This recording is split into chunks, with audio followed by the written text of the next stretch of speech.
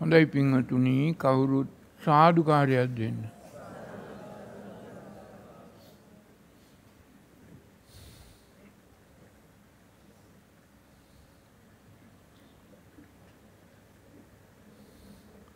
සමන්තා චක්කවාලේසු අත්‍රාගච්චන්තු දේවතා සදමං මුනිරාජස්ස සුනන්තු සගමුක්කදම් ධම්මස්සවන කාලු අයං බදන්තා ධම්මස්සවන කාලු අයං බදන්තා ධම්මස්සවන කාලු අයං බදන්තා නමුතස්ස භගවතු අරහතෝ සම්මා සම්බුද්දස්ස. නමුතස්ස භගවතු අරහතෝ සම්මා සම්බුද්දස්ස. නමුතස්ස භගවතු අරහතෝ සම්මා සම්බුද්දස්ස. පින්වත්නි ඊයේ වෙනකොට මහා සතරාතිපට්ඨාන සූත්‍රයත් චතක්ක සූත්‍රයත් සේවිතබ්බා සේවිතබ්බා සූත්‍රයත් සබ්බාසෝ සංවර පරියාය සූත්‍රයත් දේශනා කළා. මේ සූත්‍ර සියල්ලගෙන්ම තියෙන්නේ මේ ඔබ විසින් සංසාර ගමනක් තුල එකතු කරගත්ත රාග, දේශ, මෝහ කියන කොටස් තුනක්. ඒවා ඉතුරු වෙනවා, එකතු වෙනවා. මේ බුද්ධ දේශනාවේ බුදුහාමුදුරුවෝ කිව්වා මේ රාග, දේශ, මෝහ තියෙන කොට තමයි ඔය දුක්ඛිත බාධ ආබාධ ගිලාන බවට පත් වෙන්නේ. සංසාර සාරෝග සියලු රෝග වලට හේතුව සංසාරයි කියලා ගැනීම. ඉතින් ඒක නිසා බුදුහාමුදුරුවෝ දේශනා කළා බොහොම කෙටි ක්‍රමයක් දස සංයෝජන අයින් කරන්න දස සංඥා. මේ සූත්‍රය තමා ඔබ කවුරුත් අහලා තියෙන පිරිත් පොතේ තියෙන රටේ ලෝකෙ කවුරුත් දන්න දහම් පාසල් වලදී ඉගෙන ගන්න ගිරිමානන්ද සූත්‍රයේ තියෙන්නේ මේ දුක්ඛිත ආබාධ බාල ගිලාන බවෙන් කෙනෙකුට මුදා ගන්න මිදෙන්න පාර මාර්ගය. ඒකට හේතුවක් තියෙනවා හේතුවෙන් මිදී නිදහස් වීම තමයි මේ සූත්‍රයේ තියෙන්නේ. අපි මේ ගිරිමානන්ද සූත්‍රය මං හිතන්නේ ගිරිමානන්ද සූත්‍රය ගැන නොහැසූ බෞද්ධයෙක් නෑ. ඒ තරමට කවුරුත් දන්නවා. මේ ජේතවනාරාමේ බුදුහාමුදුරුවෝ වැඩ වාසය කරනකොට බොහෝ අය මේ දුක්ඛිත බාල ගිලාන ආබාධ බවට පත් වෙලා හිටියා.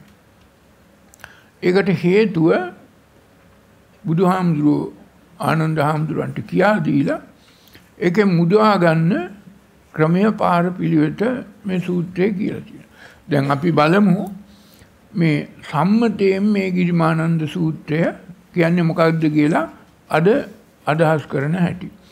මේකේ තියෙනවා ඒකන් සමයන් භගවා සාවත්‍යයන් විහෙරති ජේතවනේ අනාථ පිණ්ඩිකස් ආරාමේ තේනකෝපන් සමයේන ආයස්මා ගිරිමානන්දෝ ආවාදිකෝ හෝති දුක්ඛිතෝ බාල ගිලානෝ අතකෝ ආයස්මානන්දෝ යේන භගවා තේන උපසංකමු උපසංගමිත්වා භගවන්තං අභිවාදිත්වා ඒකමන්තන් නිසිදී ඒකමන්තන් නිසින්නෝකෝ ආයස්මා ආනන්දෝ භගවන්තං ඊදතු බෝච. භාග්‍යවතුන් වහන්සේ ජේතවනාරාම වැඩ වාසය කරන කාලේ බොහෝ භික්ෂූන් මේ දුක්ඛිත බාල ගිලාන ආබාධ භවෙන් පෙළුණා. දුක් විඳා. ලෙඩ රෝග බොහෝ තිබුණා. ඒගමන ආනන්ද හාමුදුරුව ගිහිල්ලා බුදුහාමුදුරන්ට කිව්වා මේ බොහෝ භික්ෂූන් මේ වගේ දුක්ඛිත බාල ගිලාන මේකට හේතුව මොකද්ද මේකට පිළියම මොකද්ද කියලා.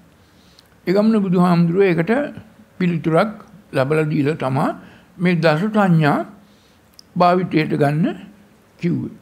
දැන් මේක තියෙන්නේ මේ සාමාන්‍යයෙන් සම්මතයෙන් පිළිගන්නේ එක හාමුදුරු නමක් හිටිය බොහෝම දුක්හිතව බාල්ල ගිලානම ඇඳකින් නැකිටින්නවා බැරි තරන් කායික වශයෙන් මානසික වශයෙන් ආබාධ වෙලා ඒ හාමුදුරුවෝ ගැන කිව්වා කියන එක තමා අද සම්මතයෙන් දහම් පාසල් වල ඉස්කෝල වල පන්සල් වල හැමතැනම උගන්වන්නේ. නමුත් මේකේ ඒක තමා සම්මත අදහස ඒ අනුව ඒ බුදුහාමුදුරුව මේ ආනන්ද හාමුදුරුවන්ට මේ දස සංඥා ඉගැන්නුවා ඒ අනුව දස සංඥා භාවිතා කරලා ඒ හාමුදුරුව දුකෙන් මිදී නිදහස් වුණා කියලා තමා අද කියන්නේ ඒ අනුව අනික් අයටත් මොකක් හරි දුකක් ආබාධයක් ආවහම මේ ගිරිමානන්ද සූත්‍රයේ දස සංඥා සජ්ජායනා කරනවා. පිරිත් හැටියට කියනවා. ඒකෙන් එවත් සනීප වෙනවා කියලා තමා අද විශ්වාස කරන්නේ. නමුත් මේක තියෙනවා මේ ධර්මතාවයේ ධර්මාර්ථයක් ගැඹුරු අර්ථයක් පරමාර්ථයක්. මේකේ පරමාර්ථය ගත්තොත් මේ ආනන්ද හාමුදුරුව කිව්ව ගිරි මා නන්දි. වචන තුනක්. ගිරි කියන්නේ පංචස්කන්ධය. නන්දි කියන්නේ නන්දි රාග සහගතව චන්ද්‍රාගය මේ පංචස්කන්ධය මා කියන්නේ මිදී නිදහස් විය යුතු. මිදී නිදහස් විය යුතු පංචස්කන්ධය යම්කිසි කෙනෙක් නන්දිරාග සහගතව උපාදානය කරගන්නවා නම් අන්න ඒ පුද්ගලයා ගිරිමා නන්දි බහුවචන නන්දි නන්දස්ස බික්කුණු.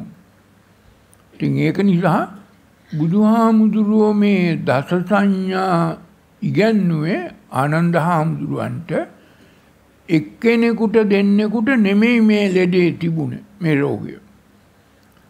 යම් කිසි කෙනෙක් මිදී නිදහස් විය යුතු පංචස්කන්ධය කැමැත්තෙන්ම නන්දිරාග සහගතව උපාදානය කරගෙන හිටියනම් ඒ සියලු දෙනා මිනිස්යෝ සියලු දෙනා ඔය දුක්ඛිත බාල ආබාධ ගිලාන බවට පත් වෙනවා. ඉතින් ඒ නිසා බුදුහාමුදුරුවෝ මේ දස සංඥා කියන බුද්ධ මන්ත්‍රය කියා දුන්නේ එක්කෙනෙකුට දෙන්නෙකුට නෙමේ මේකෙ පැහැදිලිව තියෙනවා යං ගිරිමානන්දස්ස බික්කු නෝ බහුවචන. යං ගිරිමානන්දස්ස කිව්වාම එදා බුදුහාමුදුරුව හිටිය කාලෙත් ඊට පසුවත් අදත් තවත් ඉදිරියට මතුවටත්. ඒ සියලු දෙනා යං කියන මාගදී භාෂාවෙන් කොහේ හරි කිව්වනම් යං රූපං යං ගිරිමානන්දස්ස බික්කුණෝ යම් සංඥා මේ වගේ බොහෝ තැන්වල කියනවා. යම් කියලා කිව්වොත් තුන් කාලයටම අදාළ සියලු දේ සබ්බන් කියන අර්ථය. සියලු කියන අර්ථය.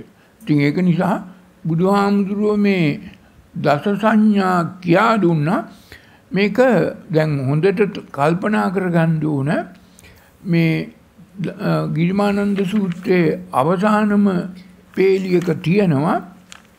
ඔබට හොඳට කියවල ගන්න පුළුවන්. ඔය අසූ තුන්වෙනි පිටේ ගිරිමානන්ද සූත්‍රයේ අවසාන ඡේදයේ තියෙනවා.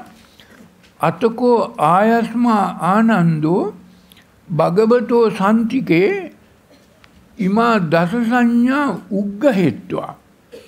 එතකොට භාග්‍යවතුන් වහන්සේ ඉදිරියේ සන්තිකේ ඉමා දස සංඥා මේ දස සංඥා ආනන්ද හාමුදුරුවොත් භාවිතා කරන්න ඉගෙන ගත්තා. බුදුහාමුදුරුවෝ ආනන්ද හාමුදුරුවන්ටත් ඉගැන්නවා. ඉමේ දස සංඥා මේ දස සංඥා භාවිතයට ගන්න. එතකොට මේක මේ දස සංඥා ගිරව් වගේ ගිරාචරියාවෙන් වචන ටික කියන එක භාවිතයක් නෙමෙයි. ඉතින් ඒක නිසා හොඳට කල්පනා කරගන්න ඕනේ ආනන්ද හාමුදුරුවන්ටත් බුදුහාමුදුරුවෝ ඉදිරියේ මේ දස සංඥා ඉගෙන ගන්න සිද්ධ වුණා නම් භාවිතා කරන්න අද සියලු දෙනාටත් මේක ඉගෙන ගන්න ඕනේ යමක් මේ දස සංඥා භාවිතයට ගන්න. ඊට පස්සේ මේ ගිරිමානන්ද සූත්‍රයේ පළවෙනි පිටේ මුල් දෙවෙනි ඡේදයේ තියෙනවා සචේකෝත්වං ආනන්ද ගිරිමානන්දස්ස බික්කුණෝ දස සංඥා වාසෙයි ආසි. අභ්‍යාස කරන්න භාවිතයට ගන්න මේක එක්සයිස් කරන්න. මේක භාවිතයට ගන්න ඕන දෙයක්. නැතුව මේක හරියට මේ දස සංඥා අනිත්‍ය සංඥා අනත්ත් සංඥා අසුභ සංඥා ආදීනව සංඥා පහන සංඥා විරාග සංඥා නිරෝධ සංඥා සබ්බ ලෝකයේ අනුබිරක්තා සංඥා සබ්බ සංකාරයේසු අනිත්‍ය සංඥා කියන වචන 10 භාවිතේ නෙමෙයි. ඒක උගන්වන්න ඕනේ නැහැ කාටවත්. ඔය වචන ටික කියන්න උගන්වන්න ඕනේ නැහැ. ඒක නෙමෙයි බුදුහාමුදුරුවෝ ඉගන්නුවේ මේක අභ්‍යාස කරන්න දෙපැත්තක් තියෙනවා. යාව දේව දෙපැත්තක් දුවතාවේ. ඉතින් ඒක නිසා මේ දුක් පැවැත්මෙන් මිදී නිදහස් වෙන්න අර දුක්ඛිත බාල ගිලාන ආබාධ භවෙන් මිදී නිදහස් වෙන්න නම් මේ පංචස්කන්ධ උපාදානයෙන් මිදී නිදහස් විය යුතුයි. එතකොට පංචස්කන්ධ උපාදානයෙන් මිදී නිදහස් වෙන්නේ නැතුව ඒ පංචස්කන්ධය නන්දි රාග සහගතව උපාදානය කරගත්ත පුද්ගලයෝ තමා ගිරිමානන්ද කියන්නේ. ගිරිමානන්ද කියන නමින් මේ මාගදී භාෂාවේ බුද්ධ භාෂිතේ හැඳින්නුවේ පුද්ගලයෙකුට එක පුද්ගලයෙකුට නෙමෙයි. කවදා හරි කොතන හරි මොන කාලයකට හරි මේ මිදී නිදහස් විය යුතු පංචස්කන්ධය නන්දි රාග සහගතව උපාදානය කරගෙන ඉන්නවනම් අන්නේ පුද්ගලයා ගිරිමානන්ද කියන නමින් මාගදී භාෂාවේ හැඳින්වුවා. නැතුව මේ එක හාමුදුරු නමකටවත් එහෙම කිව්වා නෙමෙයි. ඉතින් ඒක නිසා මේ දස සංඥා බුදුහාමුදුරුවෝ භාවිතයට ගන්න අභ්‍යාස කරන්න ආනන්ද හාමුදුරන්ටත් ඉගැන්නුවා. ඒක නිසා ඔබ සියලු දෙනාටත් මේක භාවිතයට ගන්න අභ්‍යාස කරන්න උගන්වන්න වෙනවා ඉගෙන ගන්න වෙනවා. එහෙම නැතුව මේ දුක්ඛිත බාහිර ගිලාන ආබාධ භවෙන් උපාදානයෙන් මිදී නිදහස් වෙන්න බෑ. ඉතින් ඒක නිසා මේක මේ දස සංඥා නිවැරදිවත් ප්‍රායෝගිකවත් යුගනද්දවත්. දොතාවේ දැකලා දෙපැත්ත දැකලා තේරුම් අරගෙන ආනපාන රති සමාධිය හැටියට භාවිතා කරන්න පුළුවන් නම් මේ උපාදානයෙන් මිදී නිදහස් වෙනවා දුක්ඛිත බාල ගිලාන ආබාධ භවෙන් ඕනම මිනිසෙකුට මිදී නිදහස් වෙන්න පුළුවන්. ශෝක පරිදේවාන සමතික්කමාය දුක දෝමනසං අත්තංගමාය වෙනවා. ඒ විතරක් නෙමේ ඥායස අධිගමාය නිබ්බානස සත්‍ය කිරියාය වෙන්නත් පුළුවන්. ඉතින් ඒක නිසා මේ දස සංඥා බුදුහාමුදුරුවෝ ආනන්ද හාමුදුරුවන්ට ඉගැන්නුව ආනන්ද හාමුදුරුවෝ ඒක භාවිතයට ඉගෙනගෙන අර උපාදානයෙන් මිදී නිදහස් වෙන්න බැරුව පංචස්කන්ධය උපාදානය කරගෙන හිටිය සියලු දෙනාට මේක ආනන්ද හාමුදුරුවෝ ඉගැන්නුවා භාවිතයට ගන්න. ඒ අනුව ඒක ඉගෙනගෙන ඒ අනුව අභ්‍යාස කරලා දස සංඥා භාවිතයට ගත්ත බොහෝ දෙනෙක් මේ දුක්ඛිත බාල ගිලානාබාධ භවෙන් මිදී නිදහස් වෙලා මගඵල ලැබුවා. සංසාර රෝගයෙන්ම මිදී නිදහස් වුණා. ඉතින් ඒක නිසා මේක එදා බුදුහාමුදුරුවෝ හිටිය කාලෙටත් ඒක බලංගු ඉනිවැරදිව කටයුතු කරනවා නම් අදටත් මේ දස සංඥා නිවැරදිවත් ප්‍රායෝගිකවත් යුගනද්දවත් දෙපැත්ත තේරුම් අරගෙන දුවතාවය අනුගමනය කළොත් ඕනෑම පුද්ගලයෙකුට මේ උපාදානයෙන් මිදී නිදහස් වෙන්න පුළුවන් දුක්ඛිත බාල ගිලානා බාධ භවෙන් මිදී නිදහස් වෙන්න පුළුවන් මේක අද්දුටුයි සත්‍යයි සංසාර රෝගයෙන් මිදී නිදහස් වෙන්න. නැතුව මේ සාමාන්‍ය පොඩි රෝගයකට වඩා මුළු සංසාර රෝගයෙන්ම මිදී නිදහස් වෙන්න අද්දුටුයි සත්‍යයි මේ බේත. මේක බේතක්.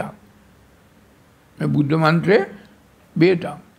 ඉතින් ඒක නිසා අපි බලමු කොහොමද මේ කොයි විදිහටද මේ බුද්ධ මන්ත්‍රයේ මේ සංඥා 10 භාවිතයට ගන්න. මේ සංඥා 10 කියලා තියෙන්නේ මාගදී භාෂාවේ වචන වලින්. සිංහල නෙමෙයි. ඒක හොඳට තේරුම් ගන්න ඕනේ මේ තියෙන වචන 10ම මේ තියෙන්නේ මාගදී භාෂාව. මේ මාගදී භාෂාව ආර්ය භාෂාවක් සියලු ආර්ය භාෂාවන් මේ පැත්තේ නම් මේ පැත්තට කියවිය යුත්තේ ලියවිය යුත්තේ. නමුත් දැන් සිංහල භාෂාව අනිත් පැත්තට කියන්නේ. ඉංග්‍රීසි භාෂාවත් අනිත් පැත්තට. නමුත් අද තියෙන බොහෝ ඔය අරබික් වගේ භාෂා පැරණි භාෂා තියෙනවා. චීන භාෂා, කොරියන් ඒවා මේ පැත්තේ නම් මේ පැත්තට කියන්නේ. ඒවට කියනවා ආර්ය භාෂා. ආර්ය භාෂාවන් කියන්නේ මේ පැත්තේ නම් මේ පැත්තට. ඉතින් ඒක නිසා මෙතන තියෙන්නේ සංඥාවේ අනිච්ච සංඥාවේ අනිච්ච මෙනෙහි කළ යුතුයි. සංඥාවේ අනත්ත මෙනෙහි කළ යුතුයි. සංඥාවේ අසුභය මෙනෙහි කළ යුතුයි. සංඥාවේ ආදීනව මෙනෙහි කළ යුතුයි. සංඥාව ප්‍රහාණ කළ යුතුයි. සංඥාවේ විරාගය මෙනෙහි කළ යුතුයි. සංඥාවේ නිරෝධය මෙනෙහි කළ යුතුයි. එතකොට අපි එකෙන් එක ගත්තොත් කොහොමද මේක භාවිතයට ගන්නෙ කොහොමද මේක ඉගෙන ගන්න ඕන සංඥාවේ අනත්ත මෙනෙහි කළා අත්ත් සංඥා පජහටි කරන්න ඕන. අත්ත් සංඥාව හිතෙන් අයින් කරන්න ඕන. නිච්ච සංඥාව. සංඥාවේ අනිච්ච මෙනෙහි කළා නිච්ච සංඥාව අයින් කරන්න ඕන. සංඥාවේ අනත්ත මෙනෙහි කළා අත්ත් සංඥාව හිතෙන් අයින් කරන්න ඕන. සංඥාවේ අසුභය මෙනෙහි කළා සුභ බව සුන්දර බව අයින් කරන්න ඕන. සංඥාවේ ආදීනව මෙනෙහි කළා ආනිසංස අයින් කරන්න ඕන. සංඥාව ප්‍රහාණය කළා අතුලාන්තයේ පිරිසිදු කරගන්න ඕන. සංඥාවේ විරාගය මෙනෙහි කළා රාගය අයින් කරන්න ඕන. සංඥාවේ නිරෝධය මෙනෙහි කළා රෝධ ගැහිම නවත්තන්න ඕන. රුජ්‍යති නිරුජ්‍යති කරන්න ඕන. එතකොට මේ 10ම තියෙන්නේ දෙපැත්තක් බලන්න ඕන. මේ දෙපැත්තම තේරු මෙතන තියෙන්නේ මේ ආනපාන සති සමාධිය. මෙතන තියෙන්නේ සතර කමඨහන්. දැන් ඔබ මහා සතරාධිපට්ඨාන සූත්‍රය කායග දැන් බොහෝ ඔක්කොම සූත්‍රවල ඔබ සතර අනුස්සති තේරුම් ගත්ත. සතර අනුස්සති වල තියෙන සියලු දේ මේ දස සංඥාවල තියෙනවා. සතර අනුස්සති වල තියෙන සියලු දේ මෙතන තියෙනවා. දැන් ඔය අනිත්‍ය දුක්ඛ අනාත්ම මෙනෙහි කළා නිත්‍ය සුඛාත්ත අයින් කරන්න ඕන. නිබ්බිදාය විරාගාය නිරෝධාය පටිනිස්සග්ග කළා උපාදානය අයින් කරන්න ඕන. ඒ වගේම අසුභය අනුපස්සනා කළා සුභ බව අයින් කරන්න ඕන. මෙත්තානුස්සතිය වඩලා තරහ අයින් කරගන්න ඕන. ඒවම තමයි මේකෙත් තියෙන්නේ. ඒක තේරුම් ගත්තා නම් මේ දස සංඥා වැඩුවත් ආනපාන සති සමාධිය වැඩෙනවා. ආනපාන සති සමාධිය වැඩුවත් සතර කමඨහන් අනුස්සති හතර පූර්ණය වෙනවා. මගපල ලැබනවා. ඉතින් ඒක නිසා මේක අපි එකෙන් එක ගත්තොත් දෙපැත්ත හොඳට තේරුම් අරගෙන සංඥාවේ අනිත්‍ය මෙනෙහි කරනසේ අනිත්‍ය මෙනෙහි කරනවා කියන්නේ දැන් මගේ ඇහැට ආපු රූපයක් වේදනාවක් සංඥාවක් සංකාර විඥාන පංචස්කන්ධය. මේ පංචස්කන්ධයම ප්‍රිය මනාපණං අසුතවත් මිනිස්සු ඒක පටිච්ච වෙලා නිච්ච කරගන්නවා. අන්න දුකට ආබාධයට බාධ ගිලාන බවට මුල්ලු උපාදානයට හේතු. එතකොට ඔබ කල්පනා කරගන්න ඕන මේ පැවැත්ම තුල ඔබේ කැමැත්ත අනුව නිත්‍යසේ සුඛසේ පවත්වන්න පුළුවන් කිසිම රූපයක් ඔබේ ඇහැට කන්ට නාසයට දිවට කයට මනට හයට අරමුණු වෙනවා. ඒවා ඒ විදිහට නවත්තන්න බෑ. ඒවා විපරිණාමයට පත් වෙනවා. වෙලාව යනවනම් කාලය යනවනම් ලෝකය භ්‍රමණය වෙනවනම් ඔබට නිත්‍යසේ පවත්වන්න පුළුවන් දෙයක් නවත්තන්න පුළුවන් දෙයක් නෑ. නමුත් ඔබ අසුතවත් පෘථග්ජන පුද්ගලයෙක් හැටියට ඔබ කල්පනා කරන්නෙම ඔබට ආස්වාදයක් සතුටක් සුවයක් සැපයක් ලබන සියලු දේ ඇයට කණ්ඩ නාසයට දිවට කයට මනට අරමුණු වෙන නිත්‍යසේ සුකසේ අත්තසේ ගන්නමයි අසුතවත් පුටක් ජන පුද්ගලයා කල්පනා කරන්න. ඒකමයි දුකට හේතුව. ඒකමයි උපාදානයට හේතුව. ඒකමයි පැවැත්මට හේතුව.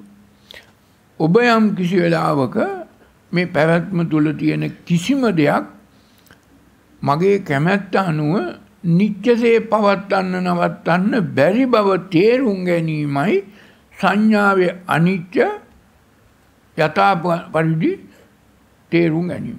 අනිත්‍යං දුක්ඛං විපරිණාම ධම්මං යථා භූතං පජානාති. ඒකමයි ධර්මතාවය. ඉතින් ඒක නිසා මේ සංඥාවේ අනිත්‍ය මෙනෙහි කරනකොට මේ අනිත්‍ය කියන්නේ නිත්‍ය කියන වචන විරුද්ධ වචනය.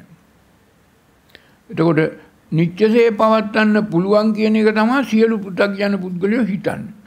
නමුත් බුදුහාමුදුරුවෝ කිව්වා මේක නිත්‍යසේ පවත්වන්න බෑ. ඒක විරුද්ධ වචනේ න නිත්‍ය න නිත්‍ය කියන්න බෑ සද්ද සංඥා නීතියට අනුව ඒක අනිත්‍යයි. ඒක මාගදී භාෂාවේ නීතියක් සද්ද නීති ප්‍රකරණය ඔබ ඊයේ දකින්න ඇති. සද්ද නීති ප්‍රකරණේ තියෙනවා මේ මාගදී භාෂාවේ නිත්‍ය න නිත්‍ය කියන්න බෑ. නයනු දෙකක් වෙනවා. ඒ නිසා අනිත්‍ය. අත්ත න අත්ත කියන්න බෑ අනත්ත. එක ශබ්ද නීති ප්‍රකරණයේ නීතියක්. මාගදී භාෂාවේ භාෂා නීති රීති තියෙනවා. ඒ ඔක්කොම ලියලා තියෙනවා. ලියවිලා තියෙනවා. කාලයකට පෙර. හැබැයි දැන් සිංහල භාෂාවටත් සිදත් සංගරාව කියලා භාෂා නීති රීති තියෙනවා. මාගදී භාෂාවටත් ඒ කාලෙම මේ සද්ද නීති ප්‍රකරණය කියලා තිබුණා. මේ පාලි භාෂාවට එහෙම එකක් නෑ පස්සේ කාලෙක මේ පොළොන්නරුවෙන් පස්සේ කාලෙක සද්ද නීති ප්‍රකරණයයි සිද්ධාර්ථ සංග්‍රහය පොඩ්ඩක් බලලා ඔය වතුන් වලට භාෂා නීති රීති පාලි භාෂාවටත් පාලි භාෂා තරණය කියලා තියෙනවා. ඒවා මේ පස්සේ හදාගත්ත වැරදි දෙයක්. ඒව තමයි උගන්වන්නේ විශ්වවිද්‍යාලේ පාලි භාෂාවට. නමුත් සද්ද නීති ප්‍රකරණය ওই පාලි භාෂාව උගන්වන කාටවත් අහු වුණා නැහැ. අහුුනේ නැහැ. ඒක අපි මම ගේනකම් එංගලන්තෙ තිබිච්ච සද්ද නීති ප්‍රකරණය කවුරක්වත් දැකපු පුද්ගලයෙකුත් නැහැ. ඉතින් ඒක නිසා මේක හොඳට තේරුම් ගන්න ඕන මේ සංඥාවේ අනිත්‍ය මෙනෙහි කරනකොට නිත්‍ය සංඥාව හිතෙන් අයින් වෙනවා. සංඥාවේ අනත්ත මෙනෙහි කරනකොට මමත්වයෙන් අත්වසේ ගන්න බැරි බව යථා පරිදි තේරුම් අරගෙන අත්ව සංඥාව හිතෙන් අයින් වෙනවා. සංඥාවේ අසුභය මෙනෙහි කරනකොට බෙදා බලලා කුලකේ හෝ ධාතු මානසිකාරයෙන් බෙදා බලලා නවසිවතිකෙන් අර සුන්දර බව සුභ බව ප්‍රිය බව මනාප බව හිතෙන් අයින් වෙනවා. එමේක සුබසේ සුවසේ සුකසේ සුචිසේ පවත්වන්න නවත්තන්න බෑ. බැරි බව යථාපටි තේරුවෙන් යන්නේ මේ අසුභය අනුපස්සනා කරනකොට. දැන් අර පංචකල්යාණිය ඔය කෙස් ගොඩක් ලොම් ගොඩක් තියෙන පුද්ගලයෙක් සත්වයක් හැටියට දැක්කාම ඒක සුන්දරයි සුබයි ප්‍රියයි. හැබැයි කොටස් කරලා බෙදලා බලනකොට මේ පංච කල්යාණික තියෙන කෙස් ගොඩක් ලොම් ගොඩක් නිය ගොඩක් දත් ගොඩක් ඔය එකම එක කොටසක්වත් වෙන් වෙන් ගසෙන් ගත්තාම ඒ එකක්වත් සුව නැහැ ඒක අසුබයි. සුචි නැහැ අසුචි. ප්‍රිය නැහැ අප්‍රියයි. මිහිරි නැහැ අමිහිරි. දැන් ඔය පංච කල්යාණික කෙස් ගහක් නියපොතු කැල්ලක් කෙල ටිකක් සෙම් ටිකක් ඔබේ බත් පිඟාන්නේ තියෙනවනම් ආවොත් ඒකත් ප්‍රියද? නැහැ. ඒක අසුචි නෝපච්චය. ඒක නිසා අසුභය මෙනෙහි කරන්න ඕන ඇත්ත ඇති හැටියට තේරුම් ගන්න. යථාභූත ඥාන දර්ශනය පහළ වෙන. උපාදානයේ මිදෙන්න. ඉතින් ඒක නිසා මේක භාවිතයට ගන්නේ මේ දස සංඥා මේ සංඥාවේ අනිත්‍ය මෙනෙහි කළා නිත්‍ය සංඥා පජහති කරන්න පුළුවන්. සංඥාවේ අනත්ත මෙනෙහි කළා මමත්වයෙන් ගැනීම නවත්තන්න පුළුවන්. සංඥාවේ අසුභය මෙනෙහි කළා සුන්දර බව හිතෙන් අයින් කරන්න පුළුවන්. සංඥාවේ ආදීනව දැකලා ආනිසංස අයින් කරගන්න පුළුවන් සංඥාව ප්‍රහාණය කළාම හිත පිරිසිදු කරගන්න පුළුවන් සංඥාවේ විරාගය මෙනෙහි කරනකොට රාගයෙන් වෙන් වෙන්නට පුළුවන් සංඥාවේ Nirodha මෙනෙහි කරනකොට හිතේ රෝධ ගැහිමෙන් නවත්තන්න පුළුවන් ආයතරයක් සබ්බ ලෝකේ අනබිරත සංඥා. විග්‍රහ කළා සියලු දේ සබ්බ ලෝකේ අනබිරත මේ අබිරත සංඥාව හිතෙන් අයින් කරන්න පුළුවන්. මේක අනබිරත කියන වචනේ විරුද්ධ වචනේ අබිරත. බුද්ධ දේශනාවේ සූත්‍ර ගණනාවක අභිරත සංඥා බුදුහාමුදුරුවෝ පරිවිමංසන සූත්‍රයේත් සරියුත් හාමුදුරුවෝ සංගීති සූත්‍රයේත් අභිරත සංඥා තයෝමේ අபிසංකාරා කියලා විග්‍රහ කරලා තියෙනවා. ඊට පස්සේ මුලින්ම කිව්වේ සංඥාවේ අනිත්‍ය අවසානයේට කියන්නේ සබ්බ සංකාරයේසු අනිත්‍ය සංඥා. අතන කිව්වා සංඥාවේ අනිත්‍ය මෙතන කිව්වා සංඥාවේ අනිත්‍ය සබ්බ සංකාරය. සියලු සංකාර. සියලු සංකාර කිව්වහම මෙතන අයිති වෙනවා වචී සංකාර, කාය සංකාර, මනෝ සංකාර, ඒ වගේම චක්කු සංකාර, සෝත සංකාර, ගාන ජීවා කාය මනෝ සංකාර, ඒ වගේම පුඤ්ඤාභි සංකාර, අපුඤ්ඤාභි සංකාර, අනඤ්ඤාභි සංකාර, අபிසංකාරත් ඇතුළු. සබ්බ සංකාරයේසු අනිත්‍ය සංඥා. කිසිම සංකාරයක් රාගයෙන් දේශයෙන් මෝහෙන් එකතු කරගන්න දේ තමයි සංකාර. සං කියන්නේ රාගයෙන් දේශයෙන් මෝහෙන් කියන එකෙන් කාර කියන්නේ ක්‍රියාකාරකම් කරලා එකතු කරනවා. ඒ එකතු කරලපු දේ අපේ යහපතට අපේ නිවනට අපේ කුසලයේ වඩා වර්ධනය වෙන්න උපකාරණයි. ඒවා නිත්‍යසේ පැවතුනොත් දුකම තමයි. එනිසා ඒ සියලු අනිත්‍ය බව තේරුම් ගන්න. සබ්බ සංකාරයේසු අනිත්‍ය සංඥා. මෙනෙහි කළ යුතු දේ. අයින් කළ යුතු දේ නිත්‍ය සංඥා. නිත්‍යසේ ගැනීම. ඊට පස්සේ බුදුහාමුදුරුව මේ 10ම භාවිතයට ගන්නා හැටි අභ්‍යාස කරන හැටි කියලා දුන්නා. හැබැයි මේක අර මේක පඤ්ඤත්තස්සායන් ධම්මෝ නායන් ධම්මෝ දුප්පඤ්ඤස්. ප්‍රඥාවන්තයෝ දන්නවා ප්‍රඥාවන්තයන්ට තේරෙනවා මොකද්ද මේ සංඥාවේ අනිත්‍ය මෙනෙහි කළාම අයින් වෙන්න ඕන කියලා නිත්‍යසේ ගැනීම අයින් වෙනවා. සංඥාවේ අනත්ත මෙනෙහි කරනකොට මමත්වයෙන් අත්සේ ගැනීම බැරි බව. අත්තාතියෝ වදෙය කියලා ඊයේ චචක්ක සූත්‍රයේ කිව්වා. අත්තාතියෝ වදෙය චක්කුං අනත්තා. සෝතං අත්තාතියෝ වදෙය සෝතං සෝතං අනත්තා. රූපං අනත්තා. 36ම මේ විදිහට ඊයේ චචක්ක සූත්‍රයේ මේ අත්සේ ගැනීම බැරදී අනත්තා. අට්ඨාතියෝ වදෙය චක්කුං අනත්තා රූපං අනත්තා සෝතං අනත්තා සද්දං අනත්තා ගානං අනත්තා ගන්ධං අනත්තා ජීව අනත්තා කාය අනත්තා මන අනත්තා ධම්මා අනත්තා 12ෙම 36ෙම කිව්වා. මේ බුදුහාමුදුරුවෝ මේ හැම සූත්‍රයකම ඕක ඕකම තමයි කියලා තියෙන්නේ. ඉතින් ඒක නිසා මෙතන භාවිතයට ගන්නවා කියන්නේ අභ්‍යාස ගන්නවා කියන්නේ උපාදානයේ මිදී නිදහස් වෙන්නට භාවිතය ගන්නවා කියන්නේ මේ දෙපැත්තම බලන්න ඕන. අත්සේ ගැනීම බැරදී ඒක සංඥාවේ අනත්ව මෙනෙහි කළාම අනාත වෙන බව විපරිණාමයටපත් වෙන බව මෙනෙහි කළාම මමත්වයෙන් ගන්න නැහැ. අත්සේ ගැනීම බැරදී. ඉතින් ඒ අනුව බුදුහාමුදුරුව ආනන්ද හාමුදුරුවන්ට ඉගැන්නුවා මේ දෙපැත්ත දෙආකාරයකට බලලා වැරදි පැත්ත අයින් කරන හැටි හරි පැත්ත නිවනට උපකාර වන පැත්ත භාවිතයට ගන්න හැට. ඒකයි භාවිතය. දැන් කරන්නේ අද මේ ගිරිමානන්ද සූත්‍රය අපේ ඔය බොහෝ දෙනෙක් ගිහිය ගිහි පැවිදි දෙපිරිසම ගිහි පිරිතක් කියනකොට පැවිදි පිරිතක් කියනකොට මේ ගිරිමානන්ද සූත්‍රයත් අනිවාර්යෙන් කියනවා ලෙඩක් දුකක් රෝගයක් තියෙනවා. හැබැයි ඔක්කොම ගිරාචරියාවෙන් වචන ටික සිංහල වචන වගේ කියවන. සිංහල වගන වගේ කන පිට ගහලා කියවන.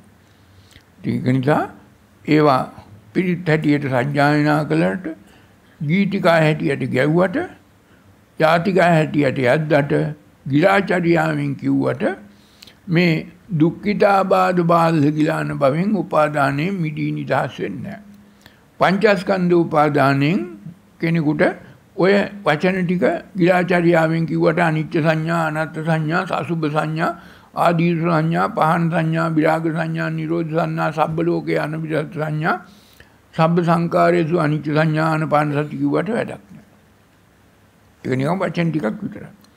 ඒක අර ඉගෙන ගන්න දේ තියෙනවා ඒක ඉගෙනගෙන නැහැ. අභ්‍යාස කරන්න භාවිතයට ගන්න කියලා බුදුහාමුදුරුවෝ කියපු වචනේ භාවිතයට ගන්න. මේ පොතේ තියෙන වචන ටික කියන එක අනිත් පරමාගදී භාෂාවේ තියෙන කන පිට ගහලා කියන එක කිසිසේත්ම මේ දුක් පිට බාල ගිලා නාබාධ බයෙන් මිදී නිදහස් වෙන්න ප්‍රමාණවත් වෙන්නේ නැහැ. දැන් ඒක හොඳට තේරුම් අරගෙන ඊගාව පිටේ බුදුහාමුදුරුවෝ මේ එක එක සංඥාවෙන් එක එක සංඥාව මෙනෙහි කළා කරන්න ඕන දේ දැන් කියලා තියෙනවා. ඉද ආනන්ද බික්කු අරඤ්‍යගතෝ ආ රුක්කමූලගතෝ ආ ශුඤ්ඤාගාරගතෝ ආ ඉටිපටි සංචික්කති. දැන් ආනපාන සති සමාධිය වඩන හැම මොහොතකම අරඤ්‍යගතෝ ආ රුක්කමූලගතෝ ආ ශුඤ්ඤාගාරගතෝ ආ තියෙන්න ඕනේ. ඉටිපටි සංචික්කති. ඒක නැතුව ආනපාන සති සමාධිය වඩන්න බෑ. එතකොට මෙහෙම තේරුම් ගත්තාම මේ රූපය නිත්‍යසේ පවත්වන්න බෑ අනිච්චං රූපං. වේදනා අනිච්ච සංඥා අනිච්ච සංකාර අනිච්ච විඥාන පංචස්කන්ධයම අපි උපාදානය කරගත්තට නිත්‍යසේ අපිට ඕන විදිහට අපේ කැමැත්තට අනුව ඒ විදිහට පවතින්නේ නැහැ පවත්වන්න බෑ. නවතින්නේ නැහැ නවත්තන්න බෑ. ඒක විපරිණාමයට පත් වෙලා යනවා. ඉතින් ඒක නිසා එහෙම මේක මේ දැන් පංචස්කන්ධයේ කොටස් පහකට බෙදුවා. අර සංඥාව සංඥාව නිත්‍යසේ පවත්වන්න බෑ. මේ සංඥාව රූප සංඥා වේදනා සංඥා සංකාර සංඥා විඥාන සංඥා මේ පහකට බෙදුවා. පහකට බෙදුවා පහම නිත්‍යසේ පවත්වන්න බෑ අනිච්චා. ඉති ඉමේසු පංචසු උපාදානස්කන්ධේසු මේ සංඥා පහම නිත්‍යසේ ගන්න බෑ අනිත්‍ය බව තේරුම් ගත්තොත් පංච උපාදානස්කන්ධයේ අනිත්‍යානුපස්සී විහෙරති. පංචස්කන්ධයම උපාදානයෙන් විහරති. වෙන් කළා අත්තරිනවා. එන්න ඒකයි අයං උච්චතානන්ද අනිත්‍ය සංඥා. පැහැදිලිව හැම පේලියකම හැම ඡේදයකම උපාදානයෙන් හිත මුදවා ගන්නයි මේ සංඥාවේ අනිත්‍ය මෙනෙහි කළා නිත්‍යසේ ගැනීම වැරදි බව යථාබරිදි තේරුම් ගත යුත්තේ. ඊළඟට කතමාචානන්ද අනත්ත සංඥා. ඊයේ චචක්ක සූත්‍රයේ කියපු දේ ඊයේ චචක්ක සූත්‍රයේ කිව්වා චක්කුං අනත්තා රූපං අනත්තා. සෝතං අනත්තා සද්දා අනත්තා. ගානං අනත්තා ගන්ධා අනත්තා ජීවා අනත්තා කාය අනත්තා මන අනත්තා ධම්මා අනත්තා. 12ම අජ්‍යත්තික ආයතන 6යි බාහිර ආයතන 6යි අත්තසේ ගැනීම වැරදි. අත්තාතියෝ වදෙය්‍ය. චක්කුං අනත්තා. ඒකමයි මෙතනත් මේ කියන්නේ. ඒකමයි මෙතනත් කියන්නේ ඒ අනුව මේ දොළහම තමන්ගේ බඹයක් පමණ වූ ශරීර කූරුවේ තියෙන චක්කු සෝත ගාන ජීවහා කාය මනෝ බාහිරයට පටිච්ච වෙන්නේ බාහිර දේ රූප ශබ්ද ගන්ධ සුවඳ රස රූප පහස. මේ 12ම මමත්වයෙන් ගන්න බෑ. මට ඕන විදිහට මට කැමති විදිහට අරගෙන මගේ කැමැත්ත අනුව පවත්වන්න නවත්තන්න බෑ. ඒකයි අනත්. අනාථ වෙනවා. ගත්තොත් විපරිණාමයට පත්වෙන එක තේරුම් ගන්නවා අනත්ත තේරුම් ගත්තොත් විපරිණාමයට තේරුම් ගන්නවා. එමනම් ඒක මමත්වයෙන් ගන්න බෑ. ඒ අනුව අර උපාදානයෙන් මිදී නිදහස් වෙනවා ඉතිමේසු යතු අධ්‍යාත්මික බාහිරේතු ආයතනේතු අනත්තානුපස්සී විහෙරති උපාදානයෙන් මිදී නිදහස් වෙනවා. මේ ඇහැකන්නාසය දිවකය මන මට ඕන විදිහට මට කැමති විදිහට මමත්වයෙන් ගන්න බෑ ඒ ඇහැට කනට නාසයට දිවට කයට මනට හයට අරමුණු වෙන අර බාහිර ලෝකේ තියෙන හයම. මට ඕන විදියට ගන්නත් බෑ නවත්තන්නත් බෑ පවත්වන්නත් බෑ ඒක තේරුම් ගත්තට පස්සේ අපි උපාදානයෙන් මිදි නිදහස් වෙනවා. ඊට පස්සේ කතමාචානන්ද අසුභ සංඥා මේක මහා සතරහතිපට්ඨාන සූත්‍රයේ පටිකූල මනසිකාරය කියලා මේ පටිකූල මනසිකාරය බබ්බේමයි අසුභානුස්සතියමයි මෙතෙන්දිත් තියෙන්නේ ඉදානන්ද බික්කු ඉම මේව කායන් උද්දම් පාදුතලා අදෝ කේස මත්තකා තච මරියන්තං මේ තච පරියන්තය කියන්නේ මේ බඹයක් පමණ වූ ශරීර කූඩුවේ කේසාන්තයේ සිට පාදාන්තය දක්වා මේ කරන ක්‍රියාකාරකම් සියල්ල කරන්නේ මෙන්න මේ කේසා ලෝකානංකා දන්තා වශයෙන් කොටස් වලට බෙදලා බැලුවාම මෙතන සත්වයක් පුද්ගලයෙක් නෙමේ ක්‍රියාත්මක වෙන්නේ මේ විඥානයක් ක්‍රියාත්මක වෙන්නේ. මේක අපිට ඕන විදිහට මේ සුන්දරසේ සුබසේ ගන්න බෑ මේක අසුබය මෙනෙහි කරන්න. මේක සුන්දර දෙයක් සුබ දෙයක් ප්‍රිය දෙයක් මනාප දෙයක් හැටියට පුද්ගලයෝ සත්වයෙක් පුද්ගලයෙක් හැටියට අර පංච කල්යාණිව දැක්කහම සත්වයෙක් පුද්ගලයෙක්සේ නිත්‍යසේ සුඛසේ අත්සේ ගන්නවා. නමුත් බෙදලා කොටස් කරලා බැලුවාම මේ එකම කොටසක්වත් සුබ නැහැ සුචි නැහැ අසුචි. අපේ කැමැත්තට අනුව මට ඕන විදියට ගන්න පුළුවන් දෙයක් අරගෙන පවත්වන්න පුළුවන් දෙයක් නැති බව තේරුම් ගත්තාම ඒකෙන් මිදී නිදහස් වෙනවා. උපාදානයෙන් මිදී නිදහස් වෙනවා. අර සුන්දර දෙයක් ලෝකේ නැහැ. කියන එක තේරුම් ගන්න. ඒ අනුව අසුබ සංඥාව මෙනෙහි කළාම උපාදානයෙන් මිදී නිදහස් වෙනවා. මේ හැම එකේ එකේම තියෙන්නේ හිතේ ඇතිවන තණ්හාවෙන් උපාදානයෙන් මුදවා නිදහස් කරගන්නට මේක මෙනෙහි කළ යුතුයි දෙපැත්ත. ඒකයි තියෙන්නේ. ඊළඟට කතමාචානන්ද ආදීනව සංඥා. මෙතෙන්දී ආදීනව සංඥා විග්‍රහ කරන බුදුහාමුදුරුව එතෙන්දිත් අර අරඤ්‍යගතව රුක්කමූලගතව අසුඤ්ඤාගාරගතව විග්‍රහ කළා විග්‍රහ කළා කියනවා බහුදුක්කෝකෝ අයංකායෝ බහුවාදීනවෝ කායෝ කිව්වේ මේ ක්‍රියාකාරකම් 36 මේ ක්‍රියාකාරකම් 36ම සමුදය පැත්තට හැරුණොත් බහුදුක්කෝකෝ අයංකායෝ බහු ආදීනවෝ මේ වැරදි විදිහට ඔය ක්‍රියාකාරකම් 36න් එකක් හරි ක්‍රියාත්මක කළොත් මේ බඹයක් පමණ වූ ශරීර කූඩුව තුල ක්‍රියාත්මක වන තුන්දොස් කිපෙනවා. එකක් නෙමේ තුන්දොස්ම දැන් සිංහල හෙළ වෛද්‍ය විද්‍යාවට අනුව තුන්දොස් කිපෙනවා. එක දොසක් කිපෙන්නේ නැහැ. ඉතින් ඒක නිසා අපි මේ ඇහෙන් දකින ප්‍රිය රූපයකට ඇලුනොත් සෙම කෝප වෙනවා සෙම කෝප වූ ගමන් වාතයයි පිටයි කෝප වෙනවා විසම වෙනවා බැරි වෙලාවත් ඔය ඇහෙන් දැක්ක රූපයට අපි තරහ ගත්තොත් වෛර කළොත් පිට කෝප වෙනවා සෙමයි වාතයයි දෙකත් කිලුට වෙනවා සම අර සමතේටපත් වෙන්නේ නැහැ. සම නැහැ.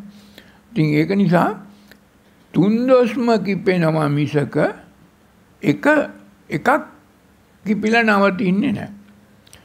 දැන් තුනක් තියෙනවා එකක් විසම වුණොත් අනිත් දෙකත් විසම වෙනවා. කෝප වෙනවා කියලා කියන්නේ. ඒකයි කියන්නේ සිංහල වෛද්‍ය විද්‍යාවේ තුන් දොස් කිපෙනවා මිසක් එක දොසක් කිපෙන්නේ නැහැ.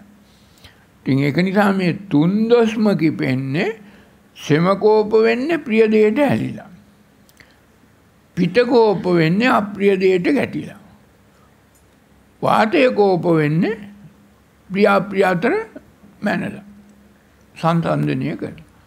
ඉතින් ඒක නිසා මේ බම්බයක් පමණ වූ ශරීර කූඩුව තුල 108ක් ආබාධ 90ක් රෝග මේක දැන් ඊගාවට කියනවා මේ 90ක් රෝගම චක්කු රෝග, සෝත රෝග, ගාන රෝග, ජීවා කාය රෝග, සීස රෝග, කන්න රෝග, මුඛ රෝග, දන්ත රෝග, ඔට්ට රෝග මෙහෙම කියලා පිත්තාබාධා, සෙම්මාබාධා, විසමා පරිබාධා ආබාධා, ඕපක්කමික ආබාධා, කම්ම විපක ආබාධා මේ ඔක්කොම ආබාධ රෝග මේ තුන් දොස් කිපිලා.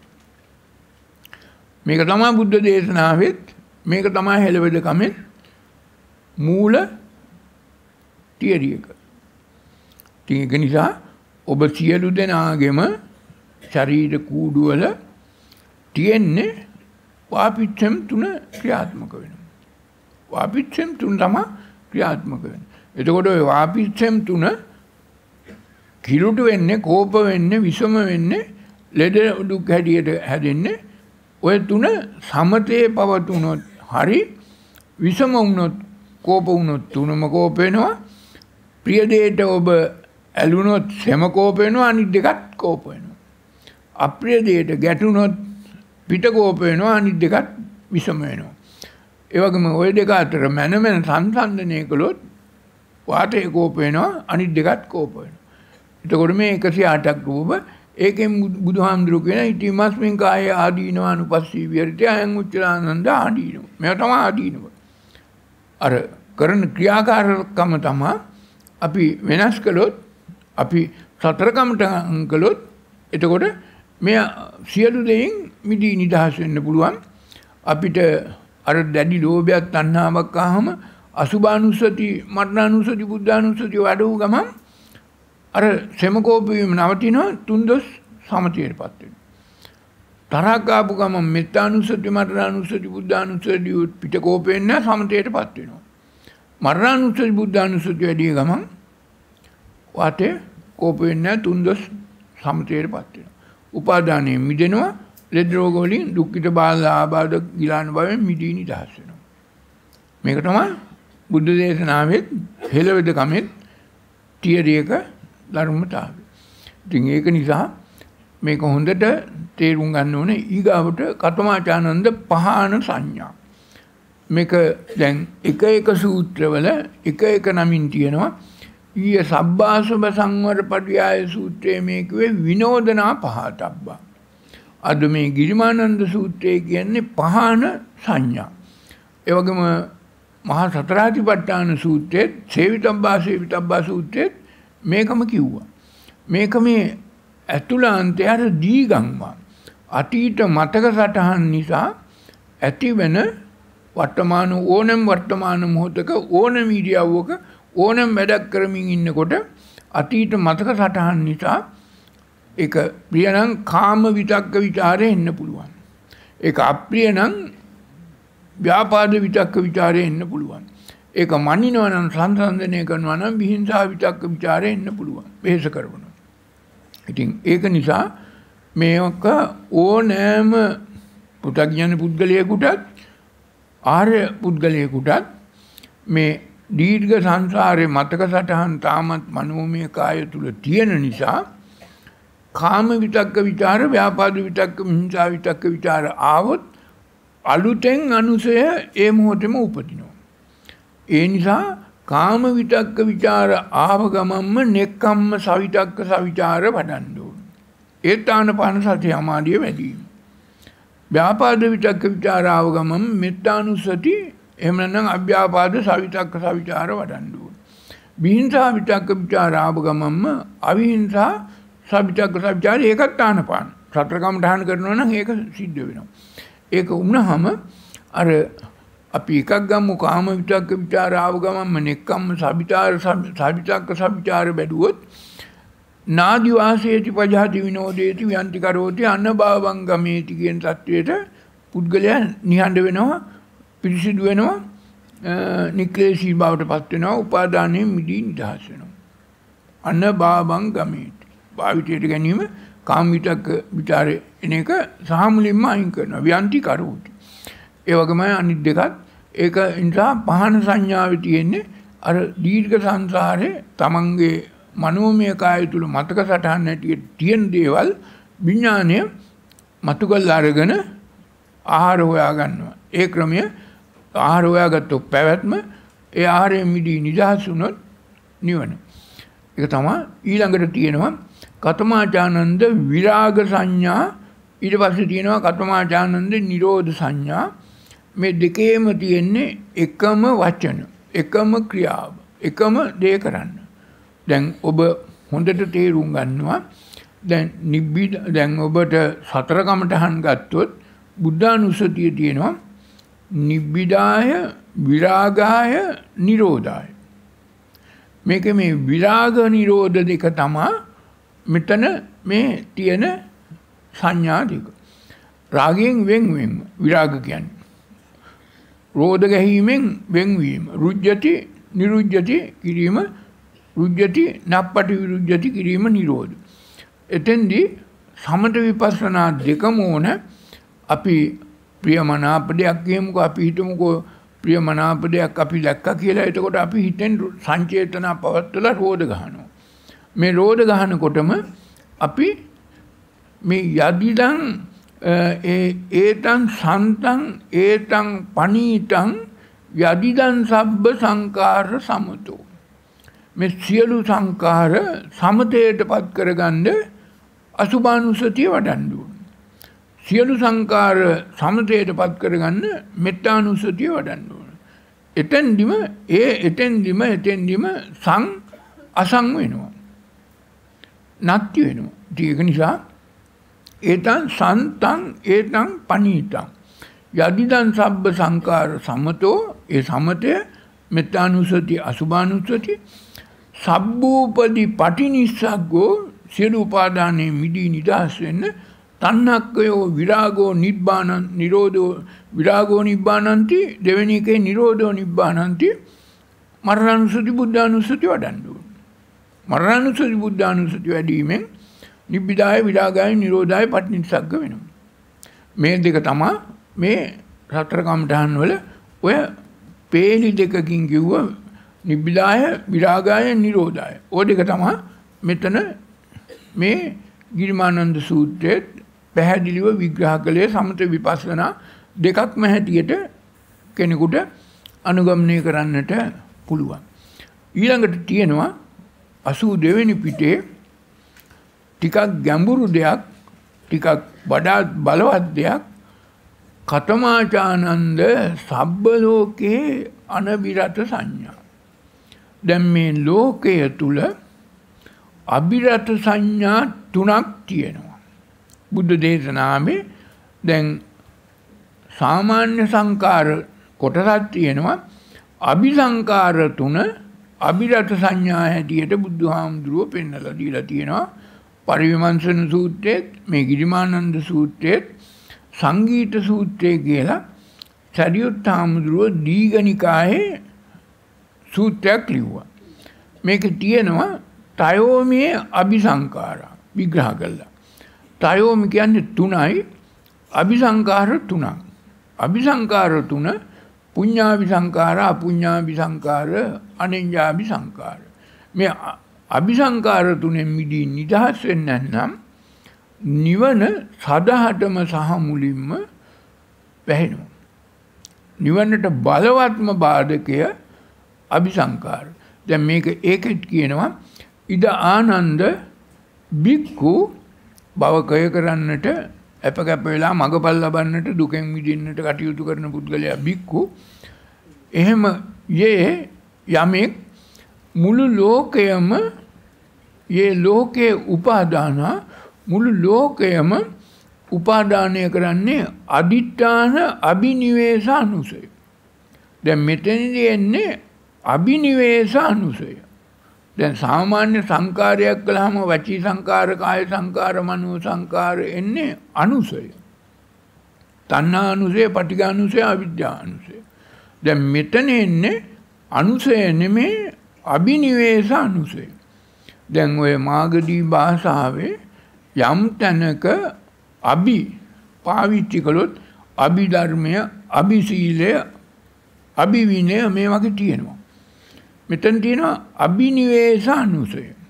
අභිනිවේෂ අනුසය කියන්නේ බොහොම බලවත් සහ මුලින්ම මේ නිවනට බාධක වෙන අනුසය අභිනිවේෂ අනුසය ඒ අනුව මේ තුන තේ කියන්නේ තුනම පුඤ්ඤාභි සංකාර අපුඤ්ඤාභි සංකාර අනිඤ්ඤාභි සංකාර නිසා උපදින්නේ අභිනිවේෂ අනුසය මේ තුනම තේ පජහන්තෝ විහරති වෙංකල් අත්තරින්න ඕන අනුපාදියන්තෝ හිතේ නැවත නූපදින විදිහට.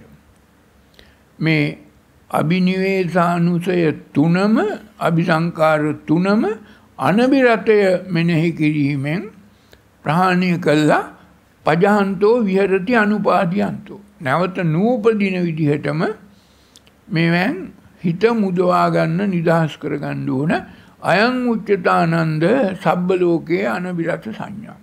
දැන් මේකේ මේ තේ පුඤ්ඤාභි සංකාර අපුඤ්ඤාභි සංකාර අනිඤ්ඤාභි සංකාර තමා අභිනිවේෂ අනුසය උපදින තුන පුඤ්ඤාභි සංකාර අපුඤ්ඤාභි සංකාර තමා මේක අපි ගිරිමානන්ද සූත්‍රය දේශනා කළා ඉවර වෙලා ඒ තුන ගැනත් ඒ තුනෙන් අභිනිවේෂ අනුසය ඉපදෙන හැටි ඒකෙන් අභිරතය මෙනෙහි කළා අනබිරතය තේරුම් ගත්ත පුද්ගලයෙකුට ඒකෙන් මිදී නිදහස් වෙන හැකි පොඩ්ඩක් විග්‍රහ කරනවා ගිරිමානන්ද සූත්‍රය අවසන් කළා. ඊට පස්සේ අවසානයේක කතමාචානන්ද සබ්බ සංකාරයේසු අනිත්‍ය සංඥා. අර මුලින්ම කියපු එකමයි නැවත අතෙන්දි කිව්වේ සංඥාවේ අනිත්‍ය මෙතෙන්දි කිව්වේ සංඥාවේ අනිත්‍ය සබ්බ සංකාරයේසු සියලු සංකාර.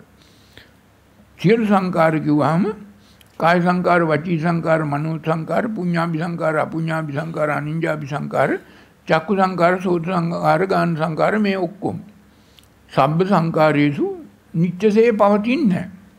නිත්‍යසේ පවතින්නේ නැති නිසා බුදුහාමුදුරුවෝ කිව්වා පියවර තුනකින් විග්‍රහ කළ හැකි මේක අට්ටියති හරායති දිගුච්චති.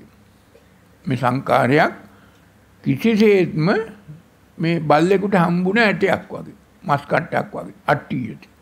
දැන් බල්ලෙකුත් ඔය කොහේ හරි කාලා ඒ මස් කට්ටේ මොනවත්ක්ත්ම කණ්ඩලේ මස් මොනවත්ක්වත් නැහැ. නමුත් ඒකේ සුවඳක් තියෙනවා. ඉවත් තියෙනවා. මස් කට්ට සුවඳක් තියෙනවා බල්ලන්ට බල්ලෝ ටික පොර කාලා මේ මස් කට්ට ගන්නවා. ටිකක් බලවත් බල්ලෙක් අනිත් බල්ලන්ට හපා කාලා මස් කට්ට තමන්ගේ අයිතියට අරගෙන මස් කට්ට කට ඇතුළට දාගෙන උපාදානය කරගෙන කට ඇතුළට ගන්නවා. දැන් කට ඇතුළට ගත්තාම මේ මස් කට්ටේ තියෙන නොයෙක් අර නිකන් පිහිටල වගේ කැපෙන තැන් කට ඇතුලේ කැපෙනවා. කට ඇතුලේ කැපිලා බල්ලගේ කටෙන්ම ලේ එනවා. දැන් බල්ලට ලේ රහ තියෙනවා. නමුත් බල්ලා දන්නේ මේ මස් කට්ටේ කිසිම ලයක් නැති බව. ඒ වගේම තමා සියලු පෘථග්ජන පුද්ගලයොත් මේ ප්‍රියමනාපදේ උපාදානය කරගන්නවා. ඒවැ කිසිම නිවනට උපකාර වන කුසලයේ වඩා වර්ධනය වෙන දෙයක් නෑ. හැබැයි ඒවා ආමිෂ සුවයක් තියෙනවා. බල්ලට මස් අර තමන්ගෙම ලේ රහ වගේ. ඒක නිසා ඒගොල්ලොත් ඒවා සාරයි කියලා ගන්නවා. අට්ටි යති කිව්වේ ඒක හරා යති කිව්වේ විපරිණාමය. අපිව අත්හැරලා යනවා. හදයන් පණ්ඩරම් බවට පත් වෙනවා සියලු දේ. හරා යති. අපිට නවත්තන්න බෑ.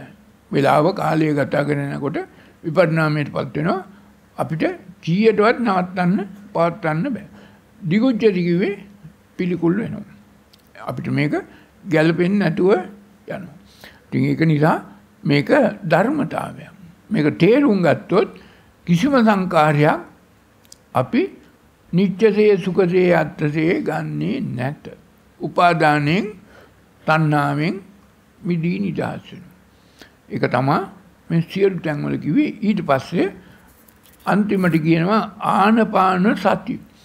දැන් බුද්ධ දේශනාවේ තියෙනවා මජ්ක්‍ධිම නිකායේ සේවිතබ්බා සූත්‍රයේට පස්සේ සූත්‍රය ආනපාන සති සමාධි සූත්‍රය කියලා බුදුහාමුදුරුවෝ ජේතවනාරාමයේදී වෙනම සූත්‍රයක් දේශනා කළා. ආනපාන සති සමාධි සූත්‍රය. මෙන්න මේ ආනපාන සති සමාධි සූත්‍රයේ සාරාංශයක් තමා ගිරිමානන්ද සූත්‍රයේත් ඔය පියවර 6කින් 4කින් විග්‍රහ කරලා තියෙනවා.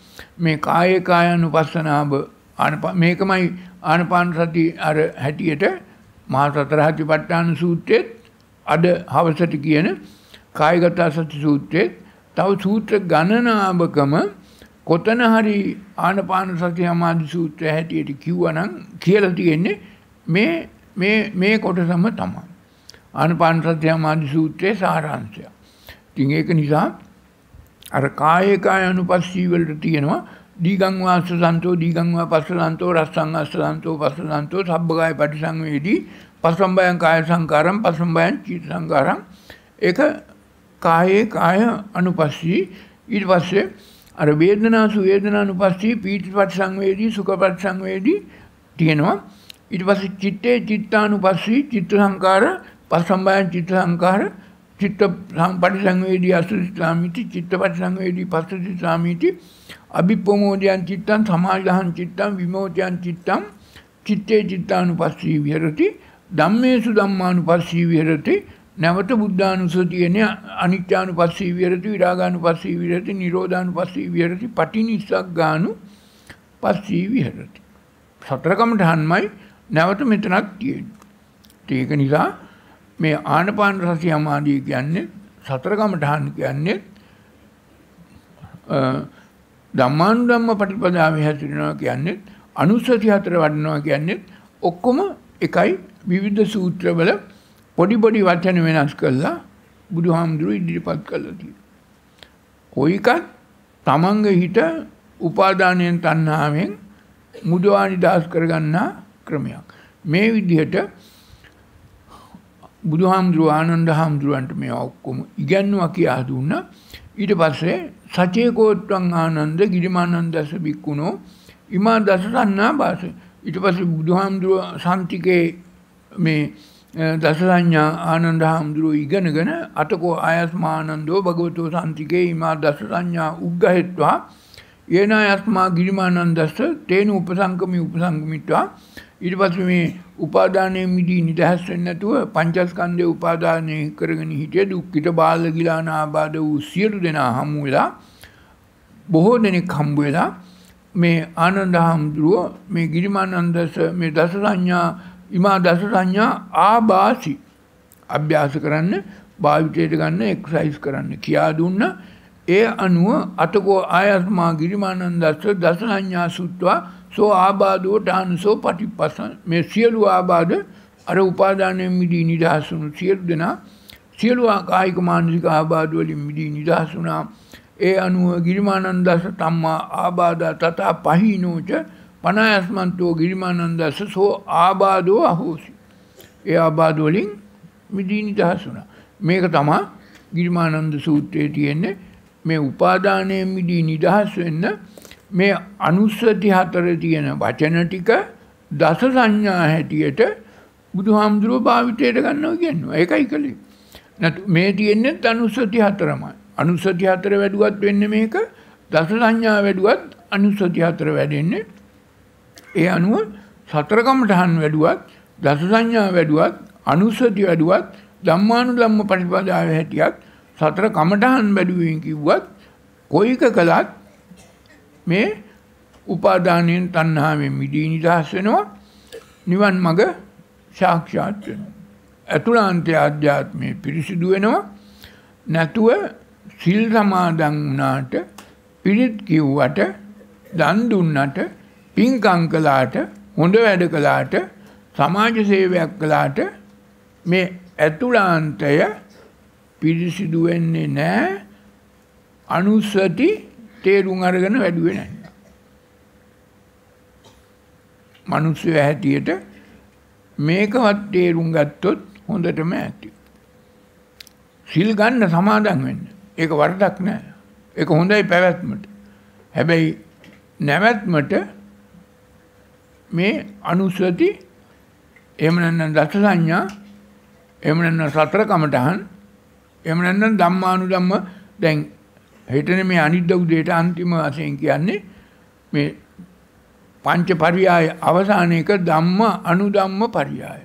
ධම්ම අනුධම්ම පරියායට කියන්නේ ආය ඔය අනිත්‍ය සංඥා දුක්ඛ සංඥා අත්ථ සංඥා නිබ්බිදාය විඩාග මේ ඔක්කොමයි. මේකමයි කියන්නේ. නොයෙකුත් ආකාරයෙන් නොයෙකුත් සූත්‍රවල බුදුහාමුදුරුව මේ සතර කමඨහන් අනුස්සති හතර හැම වචන විවිධ විදිහට කියලා දීලා තියෙනවා.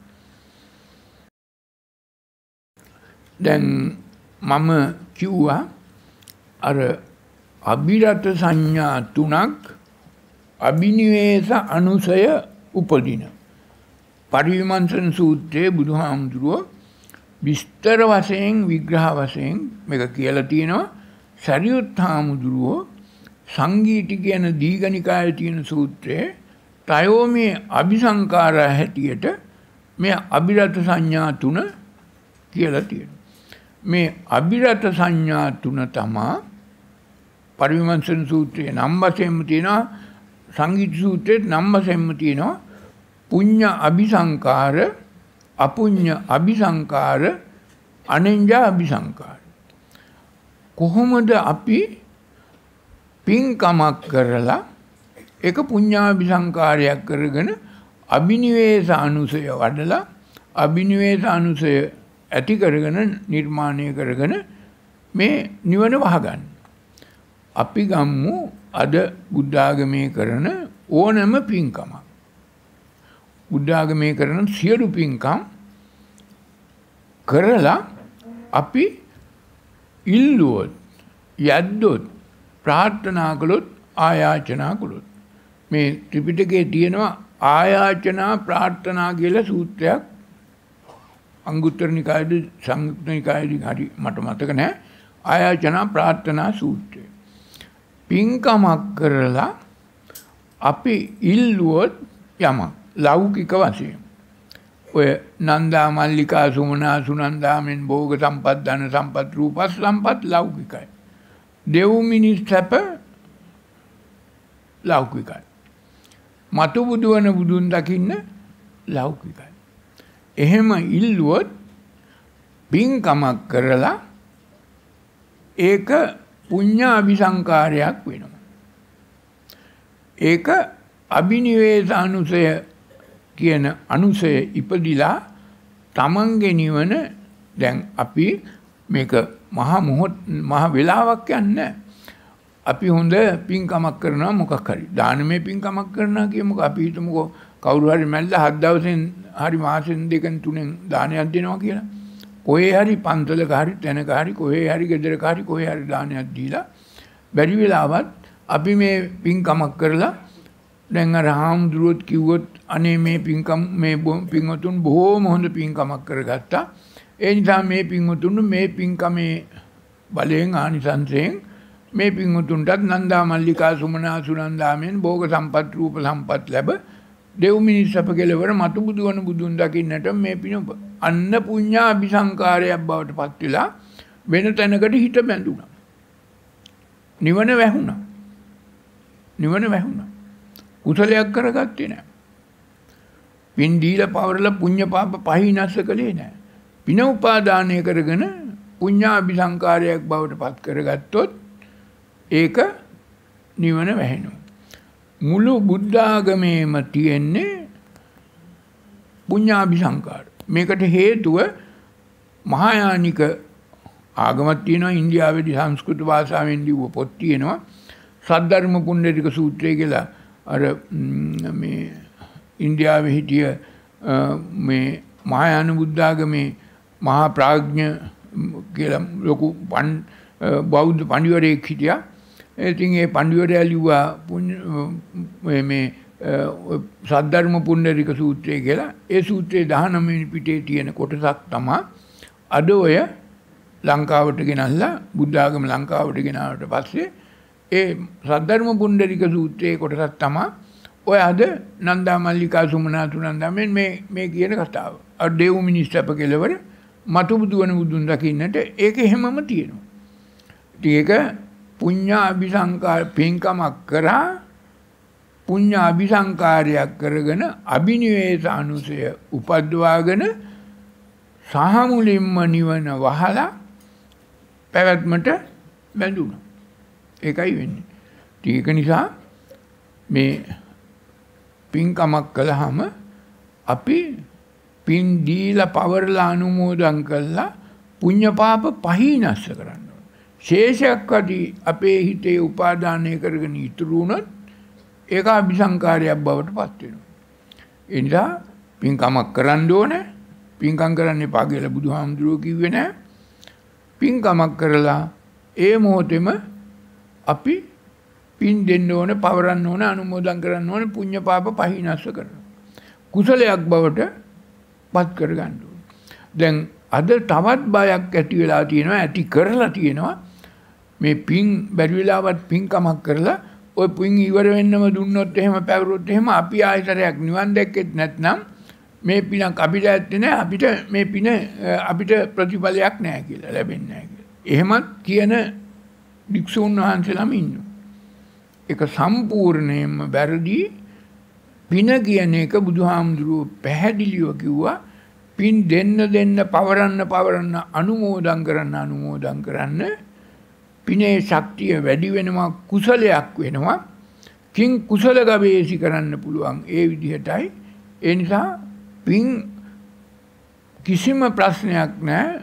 පුළුවන් තරම් හැකි හැම අවස්ථාවකම පින්කමක් කරලා පින් දීලා පවරලා අනුමෝදන් කරලා පුණ්‍ය පාප පහිනස්ස කරන්න පිනෙන් පින්කමක් කරලා කිසිම දෙයක් ලෞකික භෞතික වශයෙන් ඉල්ලන්න ආයාචනා කරන්න යාඥා කරන්න ප්‍රාර්ථනා කරන්න එපා කියන එක පැහැදිලිව බුද්ධ දේශනාවේ තියෙනවා. ඉල්ලුවොත් යද්දොත් පින්කමක් කරලා ඒ පිනෙන් මට මේ මේවා ලැබේවා කියලා එතෙන්දි නිවන අර අභිනිවේෂ අනුසයෙන් වැහෙනවා. අද බුද්ධාගමේ කරන්නේ සම්මත බුද්ධාගමේ බුදුහාමුදුරුවන්ගේ ධර්මයක් නෙමේ මේක. මහායාන බුද්ධාගම. ඉන්දියාවෙන් ආපු මහා සාංගික නිකායේ තියෙන එකක් බුද්ධ ආගමේ අද පින්කම් කර කර අරනන්දා මල්ලිකා සුමනා සුනන්දා විසාකාමෙන් භෝග සම්පත් දර සම්පත් මේ සම්පත් රත්තරම් බඩු ලැබෙන්න දෙව් මිනිස් සැප කෙලවර නිවන් දකින්න මතු බුදුවන බුදුන් දකින්න මේ පින් පින් වලින් ඉල්ලනවා. අபிසංකාරයක් වෙනවා නිවන වැහෙනවා මේක හොඳට තේරුම් ගන්න ඕන බුදුහාමුදුරන්ගේ ධර්මය අනුගමනය කර කෙනෙකුට කරන කෙනෙකුට පින්කම් කරන්න පුළුවන් පින් දෙන්න ඕන පවරන්න ඕන අනුමෝදන් කරන්න ඕන පුඤ්ඤ පාප පහිනස්ස කරන්න ඕන පින්කමකුත් උපාදානය කරගන්න එපා. දැන් ඒ විතරක් නෙමේ ওই මහායාන බුද්ධාගම හෙළබීමට ආපු කාලෙම මේ පින් පොතකුත් ලියන්න පටන් ගත්තා. දැන් පින් පොතකුත් ලියන්න පටන් ගත්තා. ඊට පස්සේ මේ පින්පොත පින්කම් කරලා දැන් නිවන වැහෙන්නේ මෙහෙමයි. දැන් පින්කම් කරලා මරණ මොහොතේ පින්පොත කියවනවා. අර පින්පොත සීපත් කළාම අර පින උපාදානය කරගෙන ඒ පිනෙන් උපත ලබනවා ආශ්‍රය. ඒකට පුණ්‍ය පාප පහිනස්ස කලේ නෑ. අර පින නැවත උපාදානය කරගන්න තමයි පින්පොත ලියුවේ. පින්පොත ලියන එකත් බුද්ධ දේශනාවට ගැලපෙන දෙයක් නෙමෙයි ඒකත් මහායාන ධර්මයක්. ඒ වගේම මේ පින පිනෙන් ඉල්ලන එක ප්‍රාර්ථනා කරන එක ආයාචනා කරන එක යාඥා කරන එකත් බොහොම බලවත්සේ අபிසංකාරයක් වෙලා අභිනිවේෂ අනුසය උපදිලා නිවනට බලවත්ම බාධකයක් බවට පවතිනවා. ඒක නිසා බෞද්ධය හැටියට ඔබ සියලු දෙනාටම පින්කම් කරන්න පුළුවන් කිසිම සීමාවකට එන්න එපා. පින්කම් කරන්න හැබැයි පින් දෙන්න පවරන්න අනුමෝදන් කරන්න ඔබේ ණයෙන් මිදී නිදහස් වෙන්න. ඔබේ ඥාතීන්ට පින් ගන්න බලාපොරොත්තු වන දෙවි දේවතාවුන්ට භූතයන්ට පෙරේතයන්ට පරලත් උපජීවීන්ට ඥාතීන්ට සියලු දෙනාට කැපකොට පින් අනුමෝදන් කළ පින් පවරලා ඒ අයවත් මුදා නිදහස් කරන්න පින් දෙන්න. එතකොට ඉවරයි. එතකොට පුණ්‍ය පාප පහිනස් වෙනවා.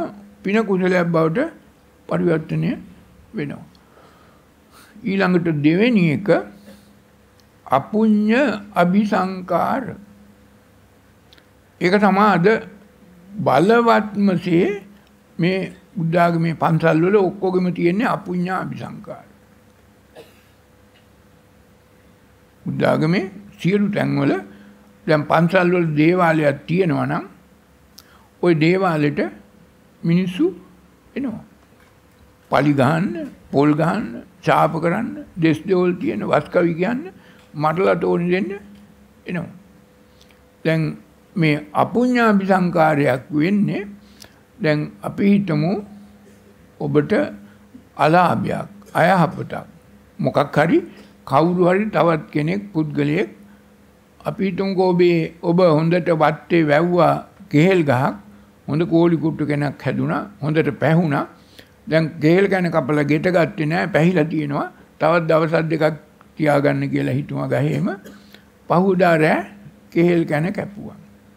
දැන් කේල් කන කැපුවාම ඔබට ඒක ලොකු වේගයක් වේදනාවක් ආවේගයක් අලාභයක් දරන්න බැරි අපහසුවක්. එක පාට ඔබ මේ කෙහෙල් කන නැතිවීමේ පාඩුව නිසා උඩේරයින් නැගිටලා බැලුවාම අර තිබුණු කෙහෙල් කන නැහැ. ඒකට ටිකක් වේගයක් ආවා. ওই කෙහෙල් කන කැපුවේ කාට නම් හෙන ගහන්න ඕන, ණයා කන්න ඕන, පාචනය හැදෙන්න ඕන ඔකට කැපුවා කාපු එකට හොඳක් නම් වෙන්න එපා කියලා ඔබ හිතෙන් කිව්වත් අපුඤ්ඤාභි සංකාරයක් වෙනවා. අපුඤ්ඤාභි සංකාරයක් වෙනවා. ඊට පස්සේ ඒක කියලා ඊට පස්සේ හිතෙන් මේ අපුඤ්ඤාභි සංකාරය කරගෙන ගෙදෙට්ට ඇහිල්ලත් කියනවා අපේ කෙහෙල් ගැන කපාගෙන ඇහිල්ලා ගිහිල්ලා තියෙනවා මොකද කරන්නේ ඊට පස්සේ පූජා වට්ටියකුත් හදා ගන්නවා පන්සලේ තියෙන දේවාලයට යනවා ආම්දුරන්ටත් කියලා වස්කවියකුත් හදලා පොල් ගෙඩියකුත් ගහලා අර කෙහෙල් කන කැපුව පුද්ගලයාට ශාප කරනවා වෛර කරනවා ක්‍රෝධ කරනවා වස්කවි කියලා එන ගහන්න ඕන නා කන්න ඕන මේ හොඳක් නම් වෙන්න එපා කියලා වස්කවි කියනවා. ඔන්න අපුඤ්ඤ අபிසංකාර. ටික ඒක නිසා ටිකක් තව ටිකක් බලවත් පුද්ගලයෝ නම් හොඳට සල්ලි තියෙන පුද්ගලයෝ නම් ගමේ පන්සලට නෙමේ තව ඊටත් වැඩිය තැනකට අර පැත්තේ මිනිස්සු උන්නේතරමට යනවා කොළඹ පැත්තේ මිනිස්සු මෝදර කෝවිලට යනවා ගාල්ල පැත්තේ නම් සීනිගම දේවාලයට යනවා එහෙම නැත්නම් කතරගම දේවාලයට යනවා ගිහිල්ලා හොඳ පූජා වට්ටියකුත් හදාගෙන තවත් ලොකු වියදමක් කරලා අර තමන්ට වුණ අලාභයට අපහසුවට හොඳට පූජා වට්ටියක් තියලා දෙවියන්ට කියලා වස් මොකක් හරි කියලා පොල් ගහලා පලි ගහලා ශාප කළා එනවා. දැන් ඔය හිත කොයි තරන්නම් ද්වේෂයෙන් වෛරයෙන් ක්‍රෝධයෙන් අපුඤ්ඤා අபிසංකාරයකින් බලවත් වෙලාද? අභිනිවේෂ අනුසය ඉපදිලා. ඒක නිසා මේ වගේ දේවල් ඕන කෙනෙකුට වෙන්න පුළුවන්. බෞද්ධයෝ විතරක් නෙමෙයි අබෞද්ධයෝ විතරක් නෙමෙයි ඕන ආගමක ඕනම කෙනෙකුට වෙන්න පුළුවන්. නමුත් මිනිස්සු හැටියට බුදුහාමුදුරන්ගේ ධර්මයේ තේරුම් ගත්ත හැටියට දැන් අපි කල්පනා කරනවා නම් කටයුතු කරනවා නම් අපේ අර කෙහෙල් කන නැතිවීමේ පාඩුව රුපියල් 2000 2000ක් වෙන්න පුළුවන්. දැන් අපි මේ කෙහෙල් කන නැති වෙලා මේ කරන ශාපය මේ කියන වස්කවි මේ කියන පූජාව නිසා අපි දෙවියන්ට පොල් ගහලා පලි ගහලා ශාප කරන එක අපිට කල්ප කාලයක් කල්ප කාලයක් පටිසන්දිනු. දැන් අර සේරිවානිජ වෙලෙන්ලා තමන්ට ලැබෙන්න තිබුණු අර රත්තරන් තලිය අර බෝසත් වෙලෙන්දට ලැබුණා. මේකට කරපු ශාපය තමා එදා ඉඳන් මුළු පන්සිය පනස් ජාතකයේම බුදුහාමුදුරුව බුදු වෙනකොට දේවදත්ත වෙලා ඉපදුණා. ඉතින් බලන්න ඔය අපුඤ්ඤා අபிසංකාරය ඔය ශාප කරා දෙස් දෙවල් තිබ්බා. මට හම්බු වෙච්ච මං ඉස්සෙල්ලා මට හම්බු වෙච්ච පාත්‍රයේ තමා අර බෝසත්වලෙන්ද අරන් ගියේ කියලා වෛර බැන්දා. එදා බැඳගත්ත ඔය වෛර තමා 550 ජාතකයේම තියෙන්නේ බුදුහාමුදුරුවෝ බුද්ධත්වයට පත් වෙනකොටත් අර සේරිවාණිජ වෙලෙන්ද තමා දේවදත්ත. අර අනික් කච්චපුට වෙලෙන්ද තමා බුදුහාමුදුරුවෝ. එදා ඔය වෛද්‍ය බැන්දේ. දැන් ඔබේ හිතෙත් ඕ වගේ මොකක් හරි පොඩි වෛරයක් ඇති වුණාම මොකක් හරි නැති වෙලා ඒ වෛරය ආවොත් ඕක දිගින් දිගටම දිගින් දිගටම දිගින් දිගටම පවතිනවා. දැන් හොඳට කල්පනා කරගන්න ඔබට තරහක් වෛරයක් ක්‍රෝධයක් ඊර්ෂාවක් එනවනම් තවත් කෙනෙක් කෙරෙහි ඕක මේ මේ ජීවිත කාලය තුල මුල් මුල හැදුන එකක් නෙමෙයි. ඕක සංසාරේ ගේන එකක්. හැබැයි දැන් ඔබට ඔබ බෞද්ධයෙක් නම් අර කෙහෙල් කන කැපුවාම ඔබට හිතන්න පුළුවන් වෙන්න ඕන මම සංසාරේ කවදා හරි අනුන්ගේ කෙහෙල් කැනක් කපන්නේ නැති ඒකයි මේ කෙහෙල් කැන මට මේ හේතුවට ඵලයක් මම මේ ණයෙන් අද මිදී නිදහස් වුණා කොච්චර යහපත් දෙයක්ද මට උනේ මං මේ සියලු ණයෙන් මිදී නිදහස් වුණා මම මේ පුද්ගලයාට කිසිසේත්ම වෛර කරන්නේ ඒ පුද්ගලයාටත් යහපතක් සිතක් ශාන්තියක් සැලසේවා කියලා මෙත්තානුස්සතිය වඩනවා. කොයි තරම්නම් යහපතක්ද. බැරි වෙලාවත් එහෙම ඔය කෙහෙල් කනේ ණය ගන්න දෙනුවක් නැත්නම් ඔබ ඒ පුද්ගලයාටත් පරම මෛත්‍රී ආර්ය මෛත්‍රිය පැතුරුවොත් යහපතක් වේවා කියලා කෙහෙල් කන පහුවදා උදේට ඔබේ මිදුලේ ගේ ගාව තියෙයි. හොඳට බලන්න කරලා. ඉතින් ඒක නිසා කීයටවත්ම ඔබේ ටිකක් ඔබ සාමාන්‍ය පෘථග්ජන පුද්ගලයෙක් හැටියට ඔබට ඒ වගේ අලාභයක් අයහපතක් වුණොත් එහෙම පාඩුවක් අලාභයක් ඔබ බොහොම තදින් පෙළඹෙනවා ගිහිල්ලා පස් කවියක් කියන්න පොල් ගෙඩියක් ගහන්න ශාප කරන්න පලි ගන්න අඩු ගානේ හිටෙන්න හිතෙන්වත් ඕකට නම් හොඳක් වෙන්න එපා හෙන ගහන්න ඕන නායා කන්න ඕන පාචනය හැදෙන්න ඕන කියලා එහෙම හිතන්න හෝ කියන්න හෝ හොඳ නෑ.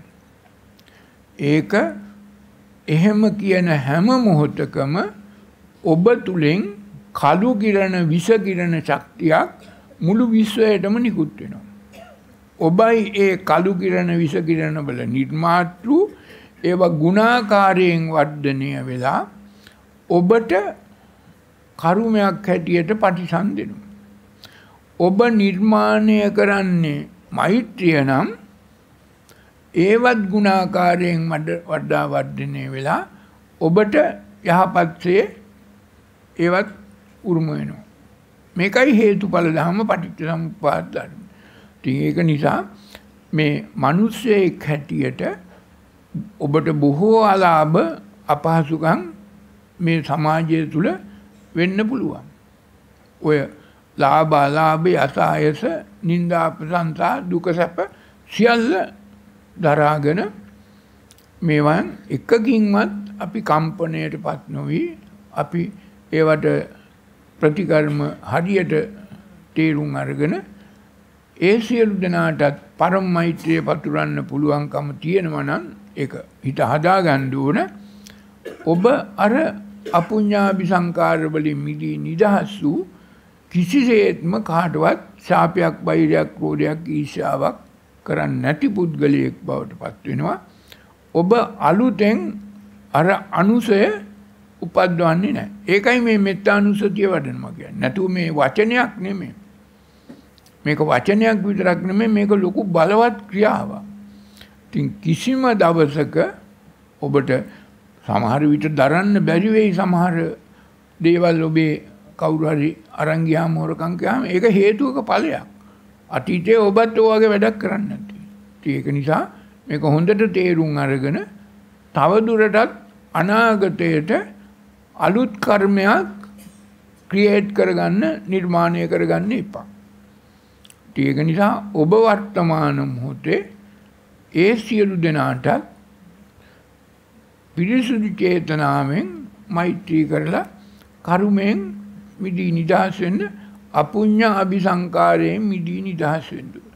දැන් මේ රටේ වෙලා තියෙන්නේ මේ sannivedana මාර්ග ආවහම sannivedana මේ රාගය දේශයේ මොහේ නිවේදනය කරන්නේම තමයි. වෙන්නේ ඕවගේ කවුරු හරි පුද්ගලයෙකුට මොකක් හරි පොඩි අයහපතක් අසාධාරණයක් වුණාම අර දේශපාලකයෝ අර ගොල්ලෝ මේගොල්ලෝ යනවා කතරගම සීනිගම පෙරහැරවල් වලින් අරවා මේවා යනවා. ඕවා ඊට පස්සේ අර sannivedana මාර්ගවල රූපවාහිනී වල රේඩියෝ වල අන්තර්ජාලයේ දැන් ඔක්කොම ඕවා දානවා. මුළු රටේම මිනිස්සු ඔය අපුඤ්ඤාභි සංකාර කරගන්න මුළු රටේම මිනිස්සු නොදන්නා ධර්මයේ නොදන්නා තේරුම් නොගත්ත මිනිස්සු ඔය ගොසිප් වලට අර අපුඤ්ඤාභි සංකාර ක්‍රියාත්මක මුළු රටේ මිනිස්සුන්ගේ නිවන වහගන්න. ඔය එක රූපවාහිනියකින් sannivedana මාර්ගයකින් ඔය වගේ එකක් කළාම අර ඒකට පක්ෂ මිනිස්සු ඒ පැත්තට හාවිය කියනවා ඒකෙන් සමුදය උපද්දවා ගන්නවා. ඒකට විරුද්ධ මිනිස්සු අනිත් පැත්තෙන් ආයි තරහක් අරගෙන ආයි සමුදය උපද්දවා ගන්නවා. පටිඝානුසය උපද්දවා ගන්නවා. අපුඤ්ඤාභි සංකාර නිර්මාණය කරගන්න. ඒක නිසා මේක වෙලා තියෙන්නේ දැන් දේවාලේ තියෙන්නේ පන්සල. දැන් ඔය මුන්නේතරම දේවාල කියන්නේ ඉස්සර පන්සලක් එතන. සීනිගම දේවාල කියන්නේ පන්සලක් එතන. කතරගම දේවාල කියන්නේ කිරිවෙහෙර පන්සලක්. සමන් දේවාල කියන්නේ පන්සලක්.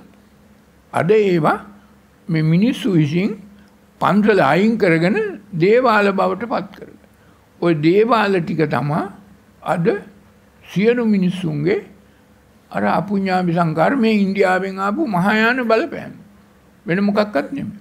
බුදුහාමුදුරන්ගේ ධර්මයේ තිබුණා නම් ඔය කවුරක්වත් ඔය කිසිම තැනකට ගිහිල්ලා බස් කවි කියන්නේ නැහැ, පලි ගහන්නේ නැහැ, පොල් ගහන්නේ නැහැ.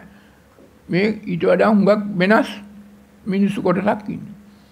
නමුත් මේ බුද්ධ ආගම කියලා ඉන්දියාවෙන් ගෙනාව මහායාන ආගමක් ඒ ආගමේ තමයි ඔය පන්සලේ දේවාලයක් හැදුවේ. පන්සලේම පැත්තක දේවාලයක් හැදුවා. ඒක නිසා පන්සල තමා මුළු ගමටම විස කිරණ කළු කිරණ නිකුත් කරන දේවාලෙ තියෙන. අපේ හාමුදුරනමක් හිටියා දේවාල හතක් හදාගෙන මේක අහලා දේවාල හතම කොන්ක්‍රීට් දාලා බැහුවා. ඔව් ඉතින් දැන් ඒ ගමටම හරි හොඳයි. ඒක ඇත්ත. ඒ ඉතින් දැන් ඔය දේවාලේනේ වස් කවි කියන්නේ පලි ගහන්නේ පොල් ගහන්නේ අපුඤ්ඤාභි සංකාර ඔක්කොම කරන්නේ විස කිරණ කළු කිරණ ඔක්කොම මුළු ගමට රටටම නිකුත් කරන්නේ ඔය දේවාල වලින්. මේ දේවාල සංකල්පය ඉන්දියාවෙන් ලංකාවට ආපු දෙයක්. බුදු බුදුහාමුදුරන්ගේ ධර්මයේ දේවාල නැහැ කොහෙවත්. දෙයියෝ ඉන්නවා. පින් දෙන්න ඕන. දේවාල හදන්න ඕනේ නැහැ. ඉතින් ඒක නිසා මේක හොඳට මේ අපුඤ්ඤාභි සංකාර නිසා තමයි අද මේ රටට යම් යම් වින්නැහියක් වුණා නම් යම් අයහපතක් වුණා නම් 99ක් වගේ කියන්න ඕන ඔය දේවාල වලට යන දේවාල වලට ගිහිල්ලා වස් කවි කියන පලි ගහන පොල් ගහන ශාප කරන වෛර කරන මරලා තෝනි දෙන සියලු අය. ඒ අයට උරුම වෙන කරුමේ වෙනම මුළු රටට වෙන කරුමේ ඊට වඩා බලවත්. ඒක නිසා මේ අපුඤ්ඤාභි සංකාර කියන එක මිනිස්සෙකුට කීයටවත්ම ගැළපෙන දෙයක් නෙමේ. Tamanටත් හොඳ නැහැ, රටටත් හොඳ නැහැ. අනාගතයේට කිසිදේත්ම හොඳ නැහැ. සතර අපාය යන්නමයි ඔය අපුඤ්ඤාභි සංකාර කළොත්. ඊට පස්සේ දැන් පුඤ්ඤාභි සංකාර වලිනුත් මිදින්න ඕන. අපුඤ්ඤාභි සංකාර වලිනුත් මිදෙන්න ඕන. තුන්වෙනි එක අනෙන්ජ අபிසංකාර. අනෙන්ජ අபிසංකාර කියන්නේ අනාර්ය ධාන ලැබලා ධාන හෝ අභිඥා ලැබලා බ්‍රහ්මත්වයට යන පාර. බුදුහාමුදුරුව බුද්ධත්වයට පත් වෙන්නට පෙර ඔය උද්දකරාම පුත්‍ර ආලාර කාලාම භග්ගව පංචවග්ගේ බික්කුන් සියලු දෙනා ගයා කස්සප නදී කස්සප ජටිල කස්සප අසිත තවුස ඇඬුවා. අස්තවුස ඇඬුවා. ඉතින් ඒක නිසා ඒ ඇඬුවේ මොකද? අර බ්‍රහ්මත්වයට යන්නේ. ඒ වගේ තමයි බුද්ධ කාල පහතකට අර මේ අර අසඤ්ඤ තලයකට ගියොත් ඒ බ්‍රහ්ම තලවල දීර්ඝායුෂ එච්චර. ඉතින් නිවන පැහැෙනවා. අනිත් පාරේක පුරුද්දක් වුණාම ආයසරයක් බුද්ධ කාල පහතක් ගෙවලා අර බ්‍රහ්ම තලයේ ඉඳලා මිනිසෙක් වෙලා ඉපදුණා ඉපදුනොත් මිනිහෙක් වෙලා ඉපදෙන්නේ නැහැ කියලා පුද්ගල සූත්‍රයේ තියෙනවා. ඉපදුනොත් බැරි වෙලාවත් ආයි ධ්‍යාන ලැබලා ආයි බ්‍රහ්මත්වයට යනවා මිසක් නිවන් දකින්න බෑ. ඉතින් ඒක නිසා මේ අනින්ජාබි සංකාරත් බුදුහාමුදුරුවම පැහැදිලි කළා පරිවිමංශන සූත්‍රයේ සරියුත්හාමුදුරුව සංගීත සූත්‍රයේ මේවා බෞද්ධයන්ට කිසිසේත්ම ගැළපෙන්නේ නැති අභිනිවේෂානුසය උපදින අபிසංකාර තුනක් හැටියට ඒක නිසා මේකෙන් මිදී නිදහස් වෙන්න ඕන අනබිරත සංකාරය මෙනෙහි කළා කියලා බුදුහාමුදුරුවෝ කියා දුන්නා. ඒක නිසා ඔබ සියලු දෙනා බෞද්ධයන් හැටියට අද ඔබ බලුවොත් මේ සම්මත බුද්ධාගම ආශ්‍රයෙන් තමයි මේ අபிසංකාර තුනම තියෙන්නේ. භාවනා මධ්‍යස්ථාන ඔක්කොම තියෙන්නේ පන්සල් වල. අනින්ජා අபிසංකාර කරන්නේ. ඒ වගේමයි දේවල් තියෙන පන්සල් වල අපුඤ්ඤා අபிසංකාර කරන්නේ. ඒ වගේමයි පන්සල් වලම තමයි පින අபிසංකාරයක් කරලා ප්‍රාර්ථනා කරලා ඉල්ලලා යාඥා කරන්නේ. ඒක නිසා මේක හොඳට කල්පනා කරගන්න ඕන. මේ බුදුහාමුදුරුවන්ගේ ධර්මයක් නෙමේ මේ තියෙන්නේ මහායාන බුද්ධ ආගමෙන් ආපු සද්ධර්ම පුණ්ඩරික සූත්‍රයේ කියපු මේ ගමන යන්න තියෙන පාර. ඒක මේ නිවන් දකින්නට බොහෝ බාධාවක්. වෙලා තියෙනවා උනා ඉදිරියටත් වෙනවා. මේක තේරුම් නොගත්තු. හොඳයි එහෙනම්. දැන් ප්‍රශ්න තියෙනේ අහන්න අවස්ථාව වෙලාව. තව ටිකක් වෙලා තියෙනවා ඒකින්ද අද ඊයේ විනාඩි ගානක් අපි ඉස්සෙල්ලා ඉවර කළාට අද තියෙනවා වෙලාව. හරි අහන්න මුලින්ම හරියතුන් වහන්ස ඔබ වහන්සේගේ පාද නමස්කාර කරලා කරුණු දෙකක් ඉදිරිපත් කරනවා. පළවෙනි කාරණාව මම උදේ හිතාගත්තා. ඔබ වහන්සේගේ උදේ යන බණ අහනවා කියලා. අදිෂ්ඨානය කරගෙන උදේ පහට එන බණ පටන් ගත්ත දැන් අවසන් වෙනකන් ඇහුවා. රාග දේශ මොනවද? දුරු කරන්නේ කොහොමද කියලා දැනගත්ත දැකගත්තා. ඒක රෝධ ගහන්නේ කොහොමද නිරෝධ ගහන්නේ කියන දේ දැනගත්තා දැකගත්තා. මං කියන්නේ මං හිතනවා ඔබ වහන්සේට මං කියන දේ අවබෝධ වෙන්නේ නැති දෙවෙනි කාරණාව මම ඒක අත්සේ සුඛයි නිත්‍ය සේසුඛයි කියලා ගන්නෙත් නැහැ කියනක දැනගත් දැකගත්තා කියන්නේ මොකද්ද කියන එක තමයි වැදගත්. දැක්කනම් ඒක වරද අත්තාතියෝ වදෙය දැක්කනම් මමත්වයෙන් ගැනීම වැරදි බව දැක්කනම් ඒ මොහොතෙන් මොකද කරන්නේ පහතබ්බා. එම අර්ථනාංශ. ඒ මොහොතෙම පහතබ්බා. ඒ දැකගත්ත කියන්නේ දෙවෙනි පැත්තකුත් තියෙනවා. මේ අපි කරන දේ නිසා කුසලයේ වඩා වර්ධනය වෙනවා නම් ආසේවිතාය භාවිතාය බහුලී කතාය. ආසේවිතාය භාවිතාය බහුලී කතාය. ඒක යහපත් නම් තමන්ගේ කුසලයේ වඩා වර්ධනය වෙනවා. ඇතුළාන්තයේ පිරිසිදු වෙනවා. ඒක ආසේවිතාය භාවිතාය බහුලී කතාය. ඇහැට කන්ට නාසයට දිවට කයට මනට හයටම දැනගත්ත දේ දැකගත්ත දේ ඔය දෙපැත්තම තියෙනවා. ඊළඟ කාරණා රිතනාසේ ඒත් සමග මට මේ කුසල මූල කුසල මූල පටිච්ච සමුප්පාදය කියන ගැන පැහැදිලි කිරීමක් කරන්න දෙවැනි කාරණාව මම ඉදිරිපත් කළාම වාඩි වෙන්න. ඇත්තටම මේ අවස්ථාවේදී රිතනාසේ පුළුවන් නම් පැහැදිලි කිරීමකුත් කරන්න ත්‍රිපිටකය ඊ අපි දැක්කා අපිට කවදාකවත් දකින්න නොලැබෙන දෙයක්. ඔබ වහන්සේ ඒ ගේන තැන ඉඳලා පටන් ගත්ත දෙන මෙතෙන්ට ගේනකම් ආව අභියෝග සහ කොයි විදියටද ඒක මෙතෙන්ට ගේන්න උත්සාහ කරේ කියන කාරණාව ගැන මුලින් ඉඳන් අවසන් වෙනකම් අපිට පැහැදිලි කිරීමකුත් කරන්න හරිතින් වහන්ස ඔබ වහන්සේට නිදුක් නිරෝගී භාවය ලැබේ. ඉස්සෙල්ලාම මේ ත්‍රිපිටකය ගැන පොඩ්ඩක් ඊයේ ප්‍රශ්න ඇහුවේ නෑ. තව මෙහෙම මෙතනත් මහත්තයෙක් ඇහුවානේ ප්‍රශ්නයක් මොකද්ද කියනවා කියවනේ අද. තව මහත්තයෙක් හිටියානේ ඊයේ කිව්වේ මං අදහන්නම් කියලා. කොහේ මහත්තයා? ආ නෑ එයා මන් දන්නේ නැහැ කියන්නේ. තව එක්කෙනෙක් කිව්වා මං ඒට අහන්නම් කියලා. අද නැද්ද එයා ගිහිල්ලාද? තව ප්‍රශ්නයක් තියෙනවනේ මොකක් හරි ත්‍රිපිටකය ගැන අහන්න දැන්. එතකොට මේ ඔක්කොම කියන්න පුළුවන්. අර මහත්තයාගේ ප්‍රශ්නේ අහන්න.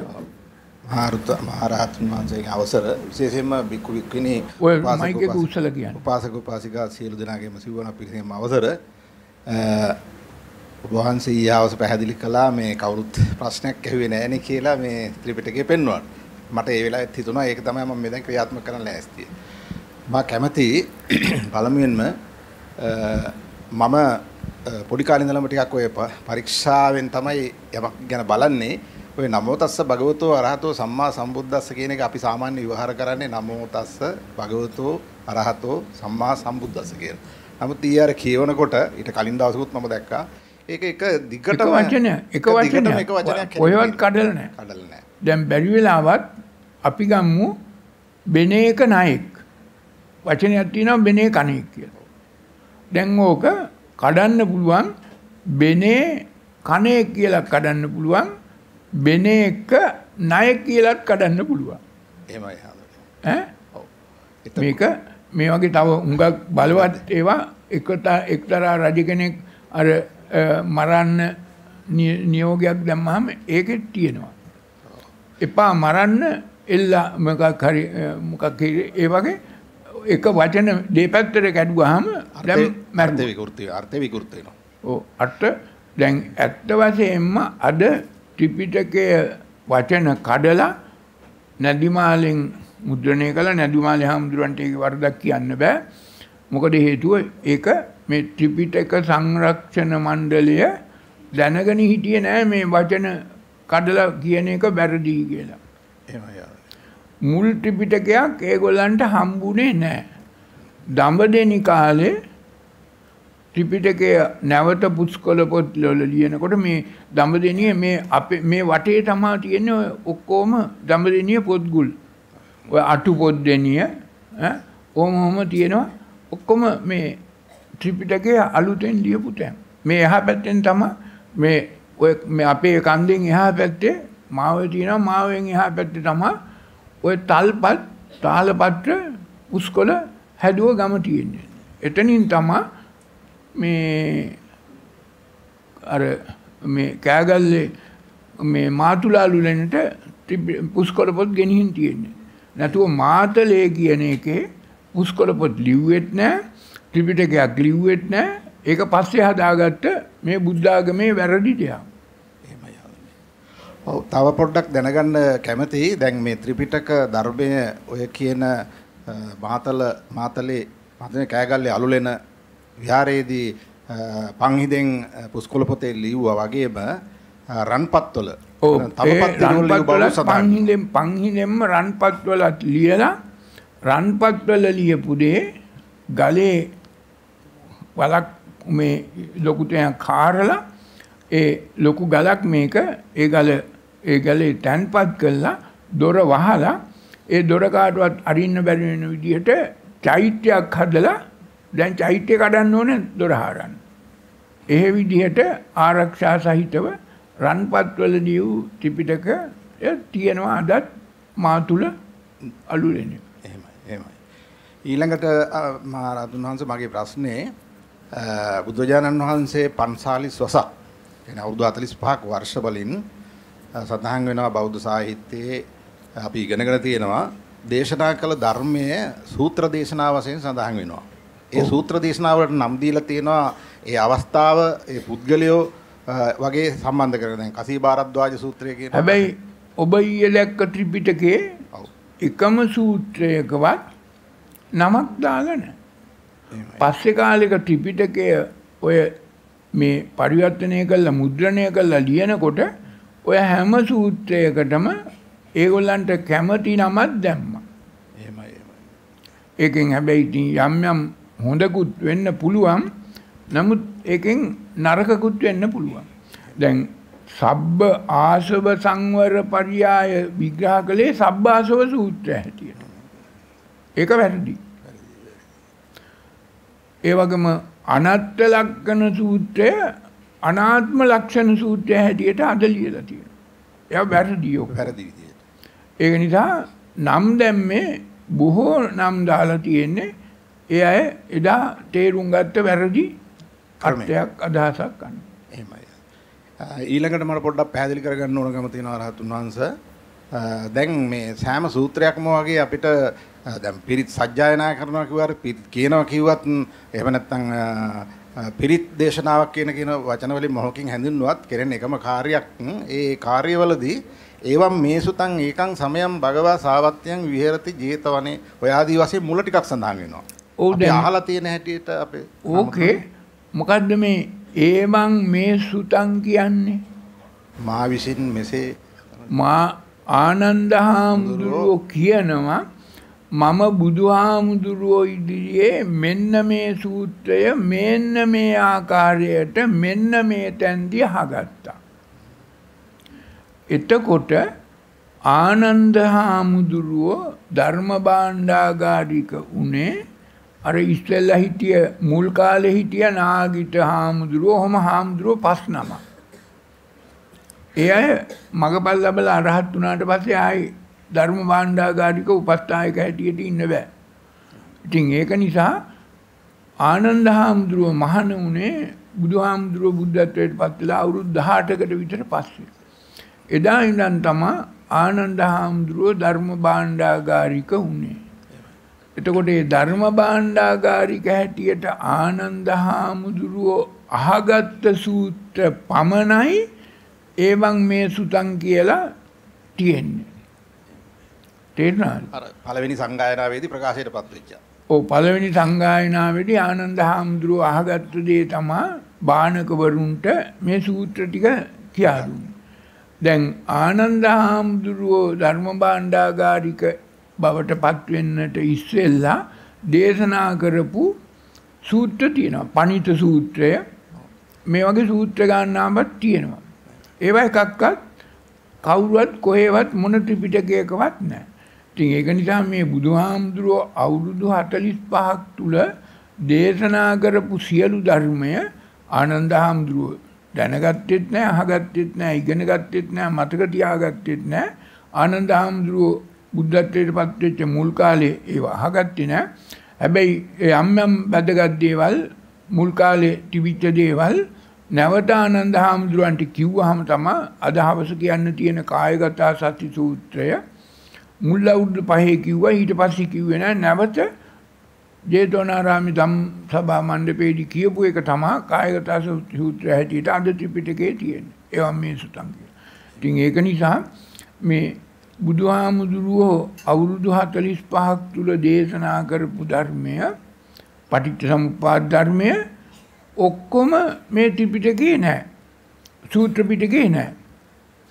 ඊට පස්සේ බුදුහාමුදුරුවෝ සූත්‍ර පිටකය හැටියට දේශනා කරපු දේවල් පළවෙනි සංගායනාවේදී ආනන්ද හාමුදුරුවෝ ඒ වගේ කිව්වට පස්සේ මේ පළවෙනි සංගායනාවයි දෙවෙනි සංගායනාවයි අතරදී යම් යම් බානක પરම්පරාවල් යම් යම් ප්‍රඥවරු යම් යම් අරහතුන් වහන්සේලා මේ බුදුහාමුදුරුවෝ දේශනා කරපු ධර්මයම ප්‍රකරණය කළා. නැවත සකස් කළා. සකස් කළා මේ අලුතෙන් මේ යම් යම් අලුත් හැටියට අභිධර්මයක් හදාගත්තා. ඇත්ත වශයෙන්ම අභිධර්මය කිව්වේ නෑ බුදුහාමුදුරුවන්ගේ කාලේ කිව්වේ ප්‍රකරණ. දැන් බුදුහාමුදුරුව මේ විභංග ප්‍රකරණය ලිව්වේ නෑ කිව්වේ නෑ. පටිසම්භිදා මග්ග ප්‍රකරණය කිව්වේ නෑ ලිව්වේ නෑ. ප ဋ ාණ ප්‍රකරණය කිව්වේ නෑ ලිව්වේ නෑ ප්‍රකරණ පොත්. ඒවා බුදුහාමුදුරුව පිරිනිවන් පාලා පළවෙනි ධර්ම සංගායනාවේදීත් එහෙම එකක් තිබුණේ නෑ. නමුත් දෙවෙනි සංගායනාව හෙළබීමේදී සිද්ධ වෙච්ච මේ ඉන්දියාවේ එහෙම කිසිම සංගායනාවක් වුණේ නැහැ. සංගායනා ඔක්කොම කළේ මේ හෙළබීමේ. දෙවෙනි සංගායනාව වෙනකොට මේ ප්‍රකරණ කියන කොටසක් හදාගෙන තිබ්බා. මොකද හේතුව මේකේ තියෙන ගැඹුරු ධර්ම, අභිධර්ම කොටස් අරගෙන ප්‍රකරණය කළා. ඒවා මේ අර උපමා කතා, අර කතා, උදාහරණ මේ වගේ දේවල් ඔක්කොම අයින් කළා. දැන් විභංග ප්‍රකරණේ තියෙන්නේ බුදුහාමුදුරුවෝ සූත්‍ර පිටකයේ දේශනා කරපු දේවල්ම තමයි. හැබැයි අර උදාහරණ උපමා අරවා මේවා අර කතා මේ කතා ඔක්කොම අයින් කළා අර ගැඹුරු ධර්මය විතරක් ලියා දැම්බා. විභංග ප්‍රකරණේ තියෙන්නේ ඔය බුදුහාමුදුරුවෝ කියපු සියලු දේ පටිච්චසමුප්පාද ධර්මයමයි. එහෙමයි. එහෙමයි. ඊළඟට මට තව කාරණයක් අවසාන වශයෙන් මම අහනවා අපේ චතුබණවර එහෙම නැත්නම් පිරුවනා පොත් වහන්සේ කියලා ওই පරිත්‍රාණ ධර්මදේශනා කරන තැනදී පරිහරණය කරන ඒ වගේම අපේ පිරිත් මණ්ඩපයට වඩමන පිරුවනා පොත් වහන්සේ කියලා පොතක් තිබෙනවනේ මෙහි කැටි කොට දක්වලා තියෙනවා සූත්‍ර ටිකක් ඒ කියන්නේ මුළු මහත් මේ ධර්මෙම නොවේනේ එතකොට ඒ ටික තමයි පිරිත් මණ්ඩපයක කරනු ලබන්නේ. මණ්ඩපෙට පිරිත් හැටියට දැන් ගේන්නේ ටිකක් මිනිස්සුන්ට කර්ණ රසායනම දේශනා කරන්න ගායනා කරන්න පුළුවන් දේවල් කොටසක් අනුරාධපුර යුගයෙන් පස්සේ පොළොන්නරු යුගයේ වගේ තමා මේවා එකතු කරගත්තේ. පරිත්ත. මොකද අර මුල් කාලෙත් අවුරුදු 456ක් බුදුහාමුදුරන්ගේ ධර්මය අර ගෝල බාල පරම්පරාගත ස්වාමීන් වහන්සේලා විසින් කටපාඩමින් ගෙනාව වනපොත් කරගෙන ගෙනාව. ඒවා ඒ කාලේ පරිත්ත හැටියට කිව්වා. ඒ කාලේ මේ කටපාඩම් කරන ගන්නවා කියන එකට පරම්පරාවෙන් පරම්පරාවට වනපොත් කරගෙන යනවට කිව්වා මාගදී වචනයක් පරිත්ත. පරිත්ත හැටියට පවත්වාගෙන ගියා. ඒ නිසා මේක පරිත්ත පිරිත් කියලා හදාගත්තා. ඒවෙන් හොඳට ලස්සනට කියන්න පුළුවන් ඒවා කොටසක් අල්ලගත්තා එකතු කරගත්තා හදාගත්තා. ඒවට තව පොළොන්නරු යුගයේ දඹදෙන යුගයේ බොහෝ දේවල් මහායාන ධර්මයට ගැලපෙන විදිහට ඔය ජින පංජරය ජලනන්දන පිරිත සූර්ය පිරිත චන්ද පිරිත මේ වගේ තව හුඟක් සූත්‍ර. ආටානාටිය වගේ. නෑ නෑ ආටානාටිය බුදුහාමුදුරුවෝ දේශනා කරපු මුල්ම නිවැරදිම ධර්මතාවය ගේන සූත්‍රයක්. මහා සමය ආටානාටිය මහා සමය රතන සූත්‍රය කරණීයමෙත්ත සූත්‍රය ඒවා ත්‍රිපිටකයේ තියෙනවා. නමුත් ඔය ඔය අද කියන බොහෝ දේවල් ත්‍රිපිටකයේ කොහෙවත් නැහැ. මේ ලංකාවේදී එළබීමේදී යම් යම් ස්වාමීන් වහන්සේලා අර මහායානිකාගමේ බලපෑම අතුව ඔය ජලනන්දන පිරිස, සූර්ය පිරිස, චන්ද පිරිස, ජින පංජරය තව ඔහොම හුඟක් තියෙනවා. ඒවා ඔක්කොම මේ ලෞකික භෞතික දේවල් මිනිස්සුන්ට ඒ වෙලාවට යහ తాවකාලිකව සුවයක් රහපතක් ලබන්න පුළුවන් විදිහට කියපු දේවල් කියන දේවල් ගායනා කරන දේවල් තියෙන්නේ. එවැන් මේ ඒව බුද්ධ වචනේ නෙමෙයි. ඒව බුද්ධ භාෂිතේ නෙමෙයි. ඒව කුසලයේ වඩා වඩන්නේ වෙන දෙයක් නෑ. එහෙමයි. අර හොඳයි නැදිමාල් ඊගාවට හරි ඔය මහත්තයා දැන් මේ අර අර නෝනත් බලා ඉන්නවනේ ඒ මොන හරි ත්‍රිපිටකයේ පිළිබඳ ප්‍රශ්නයක් තියෙනවා නම් අහන්නකෝ දැන් ත්‍රිපිටකයේ පිළිබඳ තවත් කිව්වේ නෑනේ. අවසරයි රහතුන් වහන්ස මේ මාගදී භාෂාවයි pāli භාෂාවයි එකක්ද දෙකක්ද දෙකක්. එකම. තමා දැන් බුදුහාමුදුරුවන්ගේ කාලේ මේ මාගදී වලට අකුරු නැහැ.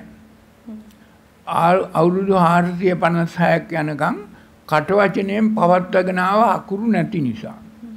ඊට පස්සේ මේ ලංකාවේ සිංහල හාමුදුරුවරු මේ තල්පත්වල සිංහල පන්හිඳෙන් ලේඛනගත කළා සිංහල අකුරෙන්.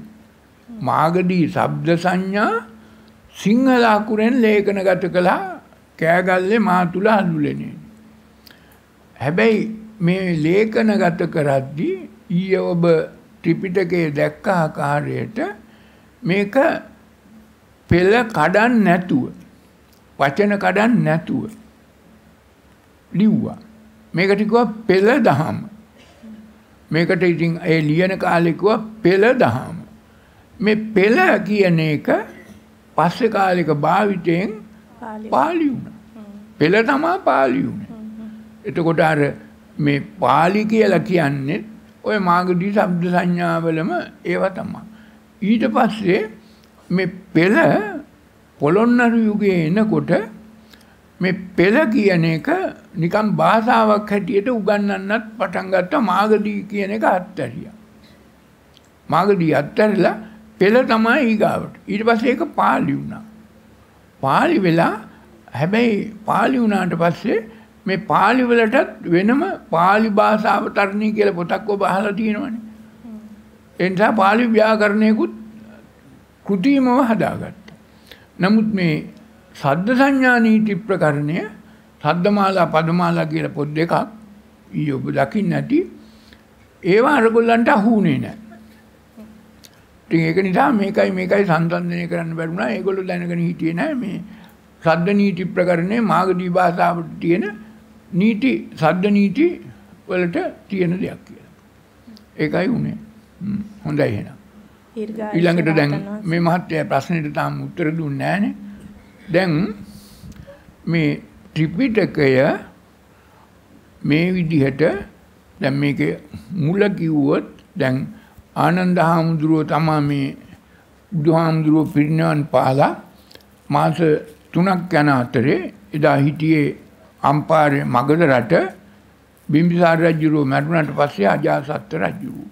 මේ අදාසත් රජ්ජුරුව තමා අර පීතෘඝාතක අජාසත් රජ්ජුරුව මේකෙන් මෙයන්න මේ සියලුම එදා හිටිය බුද්ධ ශ්‍රාවකයෝ එකතු කළා මේ බුදුහාමුදුරුවෝ දේශනා කරපු ධර්මය නැවත පරම්පරා තුනකට බානක පරම්පරා තුනකට පවරන්න පළවෙනි ධර්ම සංගායනාව අම්පාරේ රජගල රජගහනුවර අද ඒකට කියනවා කුඩගල කියලා.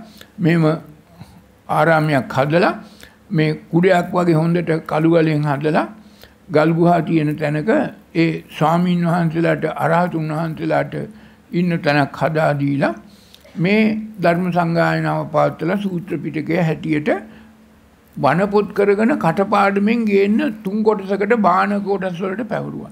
ඒ කොටස් පරම්පරා 40 ගණනක් අවුරුදු 456ක් ලියුවේ නැහැ ලේඛනගත කළේ නැහැ අකුරු නොතිබුණ නිසා නමුත් මේ බලගම්බා රජුරුවන්ගේ දවස රටේ බොහොම අවුල් වියලු විතරක් නෙමේ ලොකු නියං කාලයක් ආව බැමිණිටියා සාය මහා වංශ තියෙනවා පැහැදිලිව ඔය පොළොන්නරුව අම්පාර අනුරාධපුර රුහුණේ මොණ්ඩාගල බදුල්ල වගේ දිස්ත්‍රික්කවලට රුහුණට රජ රටට වියලි කලාපයට කන්න හතක් බැස්සේ නෑ. මහවැලි ගඟ වියලිලා ගියා. වතුර ගලාගෙන ගියේ නෑ. හැබැයි කෑගල්ලේ හොඳට වතුර තිබුණා. මේ තෙත් කලාපේ. ඉතින් ඒක නිසා මේ අර වනපොත් කරගෙන වනපොත් කරගෙන කටවචනෙන් පටන් ගත්ත එයාට අර තැන්වල ඉන්න බැරි වුණා. මේක පවත්වාගෙන යන්න බැරි වුණා. මේක දැනගත්ත තේරුම් ගත්ත මාතුල කෑගල්ල ඒ කාලේ මාතුල ජනපදයේ මේ මාතුල ජනපදයේ හිටිය ප්‍රාදේශීය පාලකයා මේ සියලු සාමීන් වහන්සේලාම පුළුවන් තරමක් එකතු කරගෙන ඇවිල්ලා කෑගල්ලට කෑගල්ලේ වතුර තිබුණා ධන දාන්නේ තිබුණා කෑම බීම තිබුණා. ඒ සියලු දේ සකස් කළා. මේ කණ්ඨ වචනයෙන් පවත්වගෙන ආපු දේ මාගදී ශබ්ද සංඥා සිංහල අකුරෙන් ලේඛනගත කළා. තල්පත් වලත් රන්පත් වලත්. එහෙම තැන්පත් කළා තිබ්බා. ඒක වචන කඩියු නැති පෙළ දහම හැටියට ලිව්වේ. ඒක ඔය කෑගල්ලේ මාතුල අලුලෙනේ රන්පත් තැන්පත් කළත් අදත් වහලා තියෙනවා. තල්පත් වල ලියපු දෙත් ඒ කෑගල්ලේ මාතුල අලුලෙනේ නැවත නැවත කීපවරක් ලියලා තියෙනවා. ඒ දිරාපත් වෙනකොට ආයිත් ලියලා තියෙනවා. එහෙම බුදුහාමුදුරුව පිරිනවන් පාල අවුරුදු 456ක ඉඳන් මේ ක්‍රිස්තු වර්ෂ 1860 විතර වෙනකම් ඔය කෑගල්ලේ මාතුලාලුනේ ඒ තල්පත් වලදී වූ ත්‍රිපිටක ධර්මයේ තිබුණා. මේ කෑගල්ලට ආවා පුද්ගලයෙක් ජෝර්ජ් ටර්නර් කියලා. මේ පුද්ගලයා ආවේ 1900 1840 ගණන් වල තමයි ලංකාවට ආවේ එංගලන්තෙන් ටිකක් සිවිල් සර්වන් කෙනෙක් හැටියට ඇහිල්ලා සිංහලත් පාලිත් ඉගෙනගෙන මේ 1848 කැරැල්ලටත් මේ පුද්ගලයා මූණ දුන්නා. ඒක නිසා මේ බුද්ධා කියන එක වෙනස් කරන්න ඉන්දියාවට පවරන්න පොතකුත් ලිව්වා. ඒ පොත තියෙනවා අදත් ඉංග්‍රීසියෙන් ලියලා එංගලන්තේ දැන් ඔක්කොම මතු කරගෙන තියෙනවා. ඒ පුද්ගලයා ලොකු විකාරයක් විනාශයක් කළා. ඊට පස්සේ 1860 වගේ යා කෑගල්ලේ උපදිසාපති හැටියට ආවහම මේ ජෝර්ජ් ටර්නර් එයා ඔය පන්සල් වල තිබිච්ච සියලු පරණ පුස්කොළ පොත් අරවා මේ ඔක්කොම එකතු කරා. මේ කෑගල්ලේ ඉඳන් කිලෝමීටර් 3ක් 4ක් එහා තමයි ඔය මාතුල අලුලෙන් තියෙන කටුපොන. එතෙන්ට ගියා ඒ කාලේ හිටියේ ගණින්නාන්සලා මේ ගණින්නාන්සලාට පවුම් පහක් දීලා කුයිටන්සියක් ලියාගෙන අස්සම් කරලා මේ එතන තිබුණු ත්‍රිපිටක පුස්කොළ පොත් සියල්ල එයා බාරයට අරගෙන එයා ඒවා හිංගලන්තයට එයා යනකොට අරන් ගියා. 1866 හරි 8 හරි තමයි ගිහින් තියෙන්නේ. එයා ඊට පස්සේ එංගලන්තෙට ගිය ගමන් මැලේරියාව හැදිලා මැරුණා. හැබැයි ඒක ඊට පස්සේ මෙයා ගෙනිච්ච මේ පුස්කොළ පොත් නැවක පටවගෙන ගියාම බොහොම විශාල තොගයක් ඒවා ඔක්කොම පදනමක් පිහිටවලා ඕල්ඩන්බර්ග පදනම කියන පදනම පිහිටවලා එංගලන්තේ ඒවා ඊට පස්සේ කෞතුකාගාරයට පැවරුවා. ඕල්ඩන්බර්ග් පදනමේ හිටිය ඔය ගයිග විල්හෙල්ම් රීච් ඩේවිස් මැතිනිය ඒ වගේම uh, කීප දෙනෙක් හිටියා. ඒ අය තමා ඒ ඕල්ඩන්බර්ග ෆවුන්ඩේෂන් එක පාත්තගෙන ගියේ. ඒකෙන් තමා මේ පාලි ටෙක්ස් බුක් සොසයිටි එකක් කියලත් ඉංග්‍රීසියට ඔය පාලි ටෙක්ස් බුක්ස් ලිව්වා. එහෙමයි ඒවා බොහෝ දේවල් ඒගොල්ලෝ කළා මේ අපේ ත්‍රිපිටකේ ගිහිල්ලා හැබැයි එංගලන්තේ කෞතුකාගාරේ මේවා තැන්පත් කළා තිබුණා.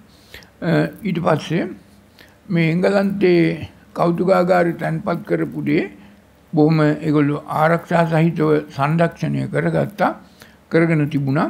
මම 1973 එංගලන්තේ ලන්ඩන් නුවරට ගිය අවස්ථාවේ මං 1973 නෙදර්ලන්තයේ උපාධියක් කරන්න ගිහිල්ලා එංගලන්තෙට ගියා. ඒ අවස්ථාවේ ඔය එංගලන්තේ තිබුණු කෞතුකාගාරයේ තිබුණ දැන් තියෙන තැන නෙමේ ඔය බිග් බෙන් කියන ඔට්ලෝසුවට පාරෙන් අනිත් පැත්තේ ටෙම්ස් රිවර් එක ගාව තිබුණේ. එතෙන්ටත් මං ගිහිල්ලා බැලුවා. ඒ කාලේ ඒ කාලේ මට මේ ගැන එච්චර වැටහීමක් අදහසක් තිබුණේ නැහැ. නමුත් ඒ පුස්කොළ පොත් ලංකාවෙන් ගෙනිච්ච තිබුණා. ඒවත් මේ බලලා දැකලා ඒ කාලේ දැක ගන්න බලා ගන්න පුළුවන්. ඊට පස්සේ අලුතෙන් ඒ පරණ කෞතුකාගාරයෙන් ගෙනිහිල්ලා දැන් අලුතෙන් මැන්චෙස්ටර් වෝඩ් එකේ හදලා තියෙනවා ලොකු අලුත් කෞතුකාගාරයක්. බොහොම හොඳට සංරක්ෂණය කළා. මේ මයික්‍රොෆිල්ම් කළා ඒවා ඔක්කොම සංරක්ෂණය කරලා තියෙනවා. මේ සංරක්ෂණය කරන්න කරපු මේ ත්‍රිපිටකය ලංකාවට ගෙන්න ගන්න බොහෝ අය උත්සාහ කරා. දැන් 1954 දී 54 වෙනකොට මේ බුද්ධ කෝලහලයක් ඇති වුණා. මේ ත්‍රිපිටකය නොයෙකුත් අය බැරදි විදිහට පරිවර්තනය කළා කීප වරක් කීප අවස්ථාවක. එංගලන්තයට ගිය ලංකාවේ ඔය මේ ඇස්වාට්ටුව ඉස්සරහ තියෙනවනේ මේ සොයිසා පිළිමය කියලා. අන්නේ සොයිස මහත්තයා ඒගොල්ලෝ ලංකාවේ හොඳම පෝසත් මිනිස්සු ඔය ටැබන් ස්කාගාර අයිතිකාරයෝ ඒගොල්ලන්ගේ තරුණ පුතෙක් ගියා එංගලන්තෙට. එයා 1899 ගිහිල්ලා එයාත් දැක්ක මේ එංගලන්තේ තියෙන ඔක්කොම ත්‍රිපිටක ඉංග්‍රීසියට පරිවර්තනය කරපුවත් සිංහලෙන් ලියපු ඒවත්. ඒව පරිවර්තනය කළා එයා එංගලන්තෙදී 1900 දී වගේ. ඒවා පරිවර්තනය කළ ලංකාවට ගෙනහලා මුද්‍රණය කළා. ඒවා බොහෝ වැරදි තිබුණා.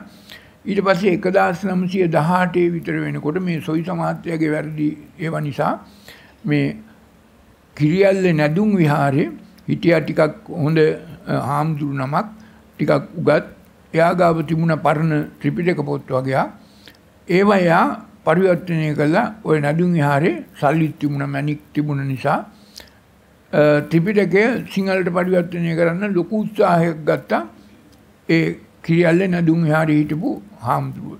මට හඳපාංගොඩ විමල හාමුදුරුව වෙන්නේ නැති.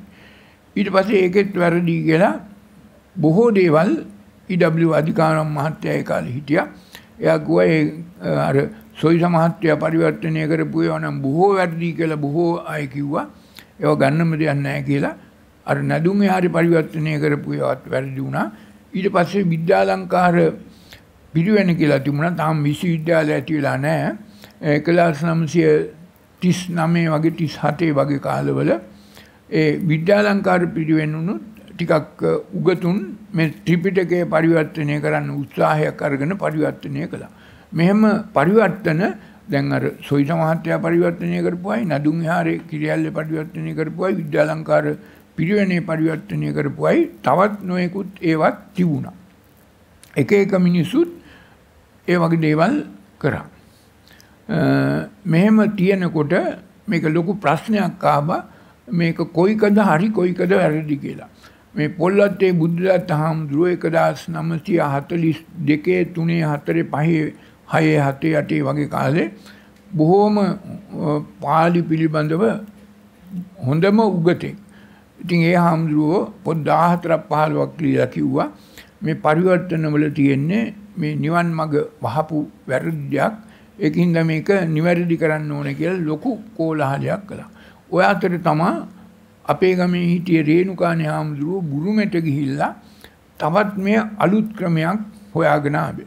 මේ විනයාලංකාර කියන හාමුදුරු නමක් අ, අපේ ගමට ඇහිල්ලා අ, ගමේ හිටිය ළමයි 16 දෙනෙක්ව එක්කන් ගියා බුරුමෙට ගිහිල්ලා මහාන කරලා බුරුමේ තිබුණු ආගම උගන්වලා ඔය 1942 තුන වෙනකොට යුද්ධය ඉවර වෙගෙන යනකොට ලෝක යුද්ධේ අ, ලංකාවට ආවා. එය වෙනම දහමක් ශ්‍රේජින් නිකාය කියලා ඔය හුලං අදින එක පිට කරන එක වෙනුවට බඩ පිම්බීම හැකිලිම වගේ දේවල් ඉගැන්නුවා. භාවනාවක්. ඒවත් ප්‍රචලිත වුණා. ඒක නිසා බුද්ධඝෝෂ හාමුදුරුවෝ පොල්ලත්තේ බුද්ධදත්ත හාමුදුරුවෝ අ, මේවටත් ලොකු විරුද්ධව පොත්පත් ලිව්වා. මේ වන විට 1952 විතර වෙනකොට ඔය පොල්ලත්තේ බුද්ධදත්ත හාමුදුරුවෝ වල්පොල රාහුල හාමුදුරුවෝ උඩකැන්දවල සරණංකර හාමුදුරුවෝ ඊ.ඩබ්ලිව් අධිකාරම් මහත්තයා මාටින් වික්‍රමසිංහ මහත්තයාත් පොත් තුනක් ලිව්වා භවතරණය මේ ඔක්කොම මේ තියෙන පරිවර්තනවල වැරදි පෙන්නලා. ඒක නිසා මේ ධර්මය කැඳහැලියක් වගේ බුද්ධ කෝලහලයක් වගේ වුණා. ඒ ගමන සෝජෝන් කොටලාවල මහත්තයා 1952 අර දඩ්ඩිසේනානායක මහත්තයා අයින් වුණාම සර්ජෝන් කොටලාවල අගමැති වුණා. අගමැති වුණාම මේ බුද්ධ කෝලහලය බොහොම බලවත් ඒ ගමන මේ මේකේ නිවැරදි කරන්න මේ ත්‍රිපිටකය හරියට සිංහලට පරිවර්තනය කරන්න ඕන කියලා පරිවර්තක මණ්ඩලයක් පත් කළා.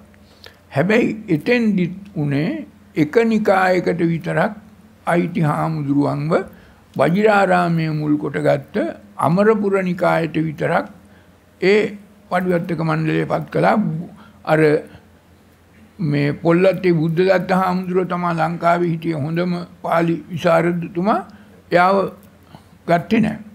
වල්පොල් රාහුල හාමුදුරුවන්ව ගත්තේ නැහැ. තව වගේ හුඟක් හොඳ උගත් වියත් අය ඉන්නවා. අ, අර සියම් නිකායේ මල්වත්තෙන් අස්ගිරියෙන් කාවත් ගත්තේ නැහැ. ඔක්කොම ගත්තේ අමරපුර නිකායෙන් බජිරාරාමයට අදාළ. ඒගොල්ලෝ ඊට පස්සේ මේ ත්‍රිපිටක මණ්ඩලයේ ඒ මුල්ම ඒ අය ඒ ඒකට පත් කරපු අයගේ ලයිස්තුවක් තියෙනවා. ඒ අය ඊට පස්සේ හෙව්වා කොහෙන්ද මේ ත්‍රිපිටකය පරිවර්තනය කරන්න ඒගොල්ලෝ පත් කළේ ඒගොල්ලෝ හෙව්වා කොහෙන් කොහොමද අපි මේක පරිවර්තනය කරන්නේ මුල් පිටපතක් තියෙන්න ඕන. මුල් පිටපත හොයන්න අවුරුදු 6ක් ගියා. කිසිම තැනකින් නිවැරදි පිටපතක් හොයාගන්න බැරි වුණා මේ දඹදෙනි ඒ පන්සල් වලින් පැල්මඩුල්ලේ පන්සල් වගේකින් මාතර හිටියා මේ සරම් මුදලි කියලා පුද්ගලයෙක් ඔය තියගොඩ ඒ සරම් මුදලි ගාව තිබුණා ලොකු පුස්කොළ පොත් එකතුවක් ඒ ඔක්කොම පොත් අරගෙන බැලුවාම ඒවා මේ පස්සේ වචන කඩලා විසුද්ධි මාර්ගයට ගලපලා ලියපු දේවල්. ඒ කිසිවකින් හොයාගන්න බැරි වුණා. ඒ ගමන දැන් සර්ජෝන් කුතලාවල මහත්තයාටත් මේ පරිවර්තක මණ්ඩලය කිව්වා එංගලන්තේ නම් අපේ ත්‍රිපිටකයේ තියෙනවා මුල් ත්‍රිපිටකය නිවැරදි ඒක අපිට ගෙන්න ගන්න ඕන කියලා සර්ජෝන් කුතලාවල මහත්තයා ඒ ගමන ලියවනක් ලිව්වා එංගලන්ත ආණ්ඩුවට දුන්නේ නැහැ. ඒක දෙන්න බෑ මොකද ඒක සල්ලි වලට අරගෙන ගිය එකක් දැන් ඒක එංගලන්තේ පත්කමක් හැටියට තියෙනවා. ඊට පස්සේ SWRD බණ්ඩාරනායක මහත්තයා ලව්වත් ලිව්වා මැරෙන්න ඉස්සෙල්ලා දුන්නේ නැහැ. සිරිමා බණ්ඩාරනායක මහත්මියාව අගමැතිලා එයාත් ලිව්වා ඒ කාටවත්ම මේ ත්‍රිපිටක පොත් කොහොමවත්ම එංගලන්ත තිබිච්ච ඒවා ගන්න බැරි වුණා. මෙහෙම මෙහෙම හොයාගෙන හොයාගෙන යනකොට ලංකාවේ ලංකාවෙන් කොහේවත් පරිවර්තනය කරන්න පුළුවන් සුදුසු අංග සම්පූර්ණ පිටපතක් හොයාගන්න බැරි වුණා. මේ අතරේ 1962 ආරංචියක් ආවා මේ සියම් රට තායිලන්තේ තායි අක්ෂර වලින් ලියපු ලංකාවෙන් ගිය කවුරු හරි තායි අක්ෂර වලින් ලියපු ත්‍රිපිටක පොතක් තියෙනවා කියලා. ඒකට කියනවා ශාම අක්ෂර කියලා. ඒකෙනම් යම් කිසි අනුක්‍රමයක් තියෙනවා කියලා. ඒ ගමනේ තායි අක්ෂර වලින් යපු ශාම අක්ෂර ත්‍රිපිටකය ශාම අක්ෂර වලින් ඉංග්‍රීසියටත් ඉංග්‍රීසියෙන් සිංහලටත් පරිවර්තනය කළා මේ අනුක්‍රමික පිළිවෙල හොයාගත්තා. ඔය අද ත්‍රිපිටකේ ලියලා තියෙන අනුක්‍රමික පිළිවෙල ඒ තායි ත්‍රිපිටකේ තියෙන පිළිවෙල තමා එතායි ත්‍රිපිටකයත් ලංකාවෙන් ගිය කවුරු හරි එක්ක ලංකාවේ අයගේ උදව් ඇතුව ලියපු දෙයක්. ඒක තමයි ඊට පස්සේ මේගොල්ලෝ ත්‍රිපිටකය හැටියට අරගෙන ඒකේ මඟ පෙන්වීම අනුව තමා ගත්තේ. ඒ මිසක් ඒගොල්ලන්ට එංගලන්තේ තියෙන ත්‍රිපිටකය ගේන්න බැරි වුණා. ඉතින් අපි දැනගත්තා මේ දැනගෙන තියෙනවා මේ වැරදි ත්‍රිපිටකයක් පරිවර්තනය කරන්න කියලා. ඒ අනුව මේක නොයෙකුත් අය නොයෙකුත් අගමැතිවරු ජනාධිපතිවරු නායකයෝ ලංකාවේ හිටියයි ඉල්ලුවා. මොකද ඒ කාලේ මේ මයික්‍රොෆිල්ම් තිබුණේ නැහැ. ඒ පුස්කොළ පොතම ගේන්න ඕන ගේනවා නම් ඒක දුන්නේ නැහැ. ඒක මොකද කුයිටාන්සියක් දීලා සීල් එක ගහලා ඒක දැන් එංගලන්තේ අයිතියට පත් වෙලා.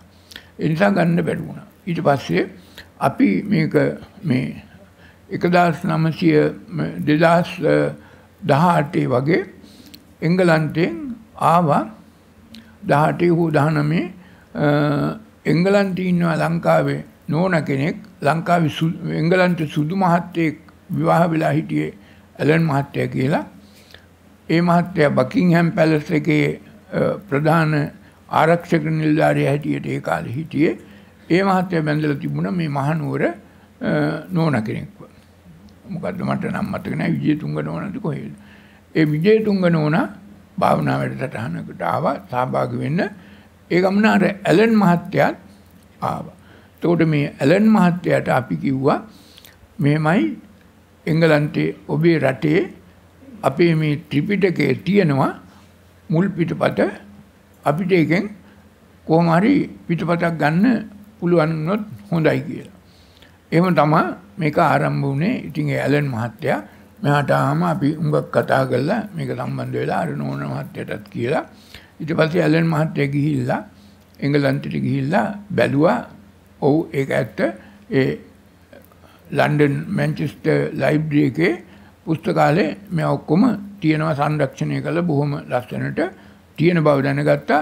ඊට පස්සේ ඇලන් මහත්තයා කියලා තියෙනවා. මේකෙන් පිටපතක් ගන්න පුළුවන්ද කියලා.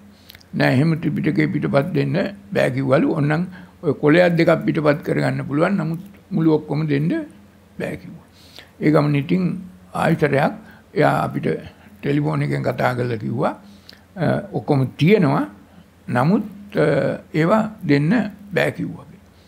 ඒ ගමන අපි කිව්වා දැන් එයා ඇලන් මහත්තයා වැඩ කළේ බකින්හැම් පල්ස් මාලිගාවේ රජිනගේ මේ ආරක්ෂක නිලධාරියා හැටියට ඔයාට පුළුවන් නම් මේ රැජිනගේ ලෙට හෙඩ් එක ඔෆිසියලි ලිව්වොත් එංගලන්ත මිනිස්සු ඕනෑම එංගලන්ත රජයේ නිලධාරියෙක් රැජින යමක් කිව්වොත් ඉල්ලුවොත් දෙනවා.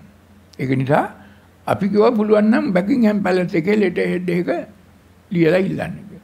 ලියලා ඉල්ලුව ගමන් කිව්වා දෙන්න පුළුවන් කියලා. ඒ ගමන හැබැයි අපිට ඒකට ඒකට සල්ලි ගෙවන්න ඕනේ කවුරු හරි මයික්‍රොෆිල්ම් පිටපත ගන්න. ඊට පස්සේ අපි සල්ලි හොයලා එංගලන්තයට ඇරලා ලක්ෂ ගණනාවක් මහිතී 15ක් 20ක් විතර විදේශ විනිමය වලින් අපි ඇරලා ඇලන් මහත්තයාට දීලා ඇලන් මහත්තයා අර මයික්‍රොෆිල්ම් කරලා තිබුණු සියලුම ත්‍රිපිටකයට අදාළ අපි ඔක්කොම ගත්තේ නෑ දීඝනිකාය අංගුත්තර නිකාය සංයුක්ත නිකාය මධ්‍යම නිකාය තමයි ගත්තේ. ඒවා මයික්‍රොෆිල්ම් කරලා තිබුණු සියලුම දේ අපි ලංකාවට අරගෙන ඇවිල්ලා ඊට පස්සේ තමයි අපි මේ මයික්‍රොෆිල්ම් එකෙන් ඒ සජීවී විදිහට ඔය ඔබ දැක්ක සියලු දේ හදාගත්තා. ඉතින් මේක තමයි ඓතිහාසික සිදුවීම. අවසරයි මහා ප්‍රඥා වහන්ස මට ප්‍රශ්න දෙකක් තියෙනවා එකක් තමයි අපි ඔබ වහන්සේගේ මේ දැන් දේශනා කරපු පුඤ්ඤාපි සංඛාරා එතන ඒක විස්තර කරත්තා මට මේක මම මගේ සිත කල්පනා කරේ අපි මේ අරිය මඟ යන්න බොහොම නිවීමෙන් ගමනක් යන පිරිසක් මෙතන ඉන්නේ. අපිගේ මේ නිවීම සමාජයේ දකින්න පුළුවන් නිවට නිවාල් ලෙස. ඒක ගැටලුවක් නෑ අපිට. අපි යන්නේ අපේ ගමන. නමුත් අපිට යම් යම් අසාධාරණකම් සමාජයෙන් සිදු වෙන්න පුළුවන්. අපි නීතියේ පිහිට පැතීම එම ගමනට බාධාවත්ද? එසේ නොවන්නේ නම් විස්තර මෙහෙමයි. අපි මම මට ඕනේ නෑ නීතියේ පිහිටක්. නමුත් අපේ දැන් මේක අනාගතයට තව බොහෝ දෙනෙකුට මේක අපි මේ උරුම කරලා දෙන්න ඕන. ඒක නිසා අනාගතයටත් මේක ඔය පිරිස තමන්ගේ අර දේ යපුම් මාර්ගයේ පවත්වගෙන යන්න නොයෙකුත් බාධක අවහිර මේක කඩලා දාන්න කපලා දාන්න වෙනස් කරලා දාන්න උත්සාහ කරන්න පුළුවන්. ඉතින් ඒ නිසා මම කිසිසේත්ම මට මට නීතියක අවශ්‍යතාවයකුත් නැහැ නීතියක. නමුත් අපි දැන් මේ අපේ මේ ධර්මය අහගත්ත පින්වත් පිරිසක් පදනමක් නිර්මාණය කරලා තියෙනවා. අරිය සමාධි තිරසර පදනම. ඒකේ ඉන්නේ ඔක්කොම හිටපු ජනාධිපති ලේකම්ලා හිටපු නිලධාරීන් ලොකු ලොකු අය. දැන් රජයේ සේවය කරන එදාට සේවය කරපු ඒ වගේම යම් යම් අය. ඒ අය ඒ පදනමට අයිතියක් තියෙනවා නීති මාර්ගයට යන්න මයින් ඇහුවා මං කිව්වා ඒ පදනම තීරණය කරනවා නම් මට නම් අවශ්‍ය නැහැ මම නීති මාර්ගයට යන්නේ මට නීතියෙන් පිටක් අවශ්‍ය නැහැ බුදුහාමුදුරුවෝ නීතිය කවදක්වත් නීතියෙන් සම්මත ඔය පුද්ගලික පෞද්ගලික නීති වලින් අපිට වැඩක් නැහැ. අපි මේ බුද්ධ ඥාඥාවට බුද්ධ නීතියට අනුවයි කටයුතු කරන්නේ. නමුත් ඒ පදනමට පුළුවන්කම තියෙනවා යම් ආකාරයකට මේ මේ අපි දැන් මතු කරගත්ත දෙයට ඒ පුද්ගලයන්ට යම් යම් අවහිරතා කරනවා නම් යම් යම් අය දඬුවම් කරන්න නෙමෙයි අපේ මේ මතු කරගත්ත දහම ඉදිරියට පවත්වාගෙන යාමට අවශ්‍ය සම්මත නීතිය ආරක්ෂාව අයදින්න පුළුවන්. අනතුමාංශ දෙවෙනි ගැටලුව කෙටියෙන් උත්තර බලාපොරොත්තු වෙන්නේ චත්තාරිමානිටානි පුරාවිද්‍යා ස්ථාන බවට පත් වී තිබේද? එසේ ඒවා පුරාවිද්‍යා ස්ථාන අදත් හැබැයි ඒවා පුරාවිද්‍යා ස්ථාන හැටියට ඒගොල්ලෝ පිළිගන්නම නමුත් ඒවා මේ බුදුහාමුදුරන්ට සම්බන්ධ බව සම්මත පුරාවිද්‍යාකාරයෝ කවුරුවක්වත් එක තැනක්වත් පිළිගන්නේ නැහැ. නෑ ස්වාමීන් වහන්සේ මම බලාපොරොත්තුනේ පුරාවිද්‍යා ස්ථාන වශයෙන් නම් කර තිබේද කියලා දැනුමක් නම් කොට තියෙනවා. එසේනම් මගේ ගැටලුව කෙටියෙන් උත්තර ලබා බලාපොරොත්තු වෙන්නේ හිරුවඩුන්න බෝධි බෝධි අසල වජ්‍රාසනයේ පස් දමා වසා තිබෙනවා. ඔය ඉතින් මේක පුරාවිද්‍යාවෙන්මයි කළේ. ස්වාමීන් වහන්සේ පුරාවිද්‍යාවන්නේ බෝධීන් වහන්සේ ගාව අපි දැන් අර ඔබට පේනවා අර පිටිපස්සේ පින්තූරයක්. එක දවස් නමසය දෙක තුන පහ විතර වෙනකොට කොච්චරනම් රමණීය භූමියක කොච්චරන ලස්සනක මොන තාපයක්වත් තිබුණේ හොඳට වජ්‍රාසනය තිබුණා. වජ්‍රාසනයේ හේතු වෙන එකක් ගහට හේතු කරලා තිබ්බා ගහේ මුල් දෙකක් ඇහිල්ලා වජ්‍රාසනය හොල්ලන්න බැරුව වැහිලා තිබුණේ වජ්‍රාසනය හොඳට උඩ තිබුණේ ඊට පස්සේ ওই වජ්‍රාසනයේ වටේට මිනිස්සු තාප්ප බැඳලා ගේට්ටු දාලා ඊට පස්සේ පුරාවිද්‍යාකාරයන්ට මේක දරන්න බැරි වුණා මෙහෙම එකක් කියලා ඒ ගමන මොකක් හරි හේතුවක් නිසා දැනට අවුරුදු දෙකමාරකට විතර උඩදී ওই වජ්‍රාසනය හැරුවා පුරාවිද්‍යාව හාරලා මතු කරලා ගත්තා. කිව්වා මේක බොහොම පැරණි එකක් කියලා. හැබැයි මොකද්ද කියලා ඒගොල්ලෝ හරියට කිව්වේ නෑ. පුරාවිද්‍යාකාරයෝ ඒක වැහුවා. වැහුවට පස්සේ එතන ඉන්න මුස්පේත්තු හාමුදුරු නමක් මිත්‍යා දෘෂ්ටික හාමුදුරු නමක් මේ බුදුහාමුදුරුවෝ බුද්ධත්වයට පත් වෙන්නට උපකාර වුණු මේ වජ්‍රාසනය පස් දාලා වහලා ඒක උඩ ඉඳන් පින්තූර අරගෙන අන්තර්ජාලයට එවලා තිබුණා. ඒක ආනන්තරීය පාප කර්මයකටත් වඩා බලවත් දෙයක්. මිනිස්සු මෙතෙක් කල් අවුරුදු 10 ගාණක් බුදුහාමුදුරුවෝ බුද්ධත්වයට පත් වෙන්නට ඉඳගත් වජ්‍රාසනය මුචලින්ද රජුව හදලා දුන්න වජ්‍රාසනය දැක බලා වැඳ පුදාගත්ත වජ්‍රාසනය පස් වලින් පුරාවිද්‍යාකාරයොත් මේකට වග කියන්න ඕන හාරලා පස් දාලා වහලා ඒක නැති කළා බැහුවා. හැබැයි නැති කළේ නෑ ඒක යට තියෙනවා. ඕක ඔයගොල්ලන්ට කාටවත් නැති කරන්න බෑ. නමුත් දැන් ඔබ ගියොත් වජ්‍රාසනය දැක ගන්න බෑ එතන පස් දාලා වහලා. වජ්‍රාසනය තියෙනවා පස් දාලා වහලා. නමුත් අවුරුදු 2500ක්ම බුදුහාමුදුරුව බුද්ධත්වයට පත් වුණු දවසේ ඉඳන් මේ 2020 21 දක්වාම ওය වජ්‍රාසනය ඒ විදිහටම තිබුණා. අනාගතයේ ධර්මතාවයකින් මෙය අපිට බල- දැක බලා නෑ. ඉතින් මේක මතුවෙනවා. තාම වජ්‍රාසනේ තියෙනවා ඔය తాවකාලිකව. පුතා කියන පුද්ගලයෝ මෙහෙම එනවා. මේ මේ මේ කලියුගේ කාලේ ඔය වගේ වැඩ වෙනවා. අවසරයි අරිහතුන් වහන්ස මේක ත්‍රිපිටකයට සම්බන්ධ ගැටලුවක් ඔබ වහන්සේ දේශනා කරා දැන් දීඝනිකාය මජ්ක්‍ධිම නිකාය අංගුත්තර නිකාය අපි ඉංග්‍රීසි වලින් ගෙන්න ගත්තා කියලා. එතකොට මම ඊයේ තව පුස්තකයක් දැක්කා සද්දප්පනිකරණය කියලා. එතකොට ඒ සද්ද නීති ප්‍රකරණය. එතකොට මේ ඒකත් පුස්කොළ පොතක්. අපි ඒ පුස්කොළ පොත මුද්‍රණය කරගත්තා. ඒක මුද්‍රණය කරගත්තා අපි. අපේ ඔය මේ නාරයන් පිට තියෙන ආසිරි හොස්පිටල් එකේ ඉන්නවා ડોක්ටර් පොනන්ඩු කියලා එක්කෙනෙක්. එයාට අපි මේක දුන්නාම එයා පොතක් හැටියට චිප් එකෙන් ඒක මුද්‍රණය කරගත්තා. එතකොට ස්වාමින් වහන්සේ ඒ පුස්තකයත් ඒ මජ්ක්‍ධිම නිකායේ ඒ ලියපු කාලෙම ලියපු නැත්නම්. කවුද ඒක ලිව්වේ අපිට ඒක ලිව්වේ දැන් මේ ත්‍රිපිටකය ගන්ථාරූඪ කළානේ බුද්ධ වර්ෂ 456 දී එහෙමයි. මේ ගන්ථාරූඪ කළාම මේකේ තියෙන මේ පෙළ දහම මාගදී භාෂාව මේවට ව්‍යාකරණ තිබුණා. ඒක අතීතේ ඉඳන්ම ව්‍යාකරණ තිබුණා.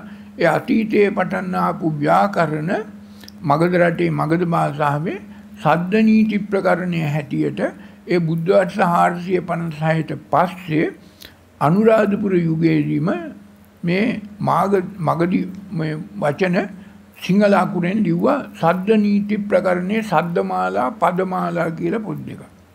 ඒ පොත් දෙකත් පුස්කොළ පොත් දෙකක් හැටියට එංගලන්තේ තියෙන්නේ ඒවා ලංකාවේ කිසිම තැනක පුස්තකාලයක පන්සලක කොහෙවත් නැහැ.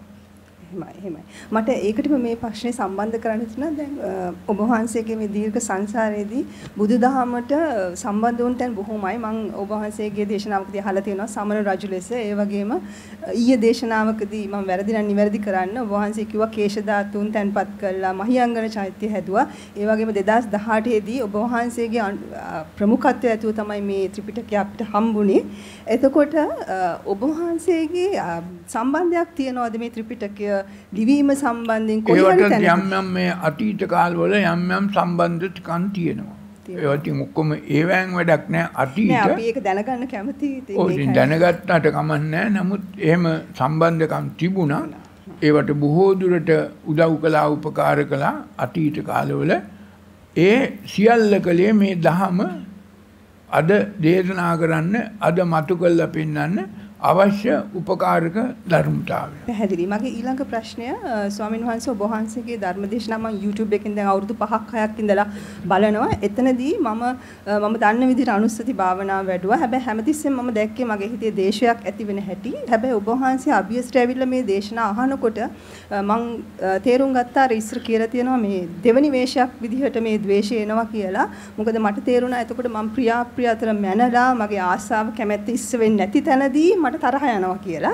හැබැයි මගේ ප්‍රශ්නය දැන් මම තරහ යන තැන දැකලා මම මෛත්‍රී භාවන මෙත්තානුසතිය මරණාසතිය බුද්ධානුසතිය වඩනවා. හැබැයි මම ඊළඟට ඉස්සෙල්ල පියවර වන ඒ රාගය හෝ කැමැත්තට එතනදී මම අසුභානස්තිය වඩන්න ඕනද? මොකද මේක දැන් පියවරෙන් එන්නේ. දැන් අසුභානුස්සති මරණානුස්සති බුද්ධානුස්සති වැඩුවොත් එහි ප්‍රතිඵලය හැටියට ද්වේෂයක් හෝ මෝහයක් එන්නේ නැත.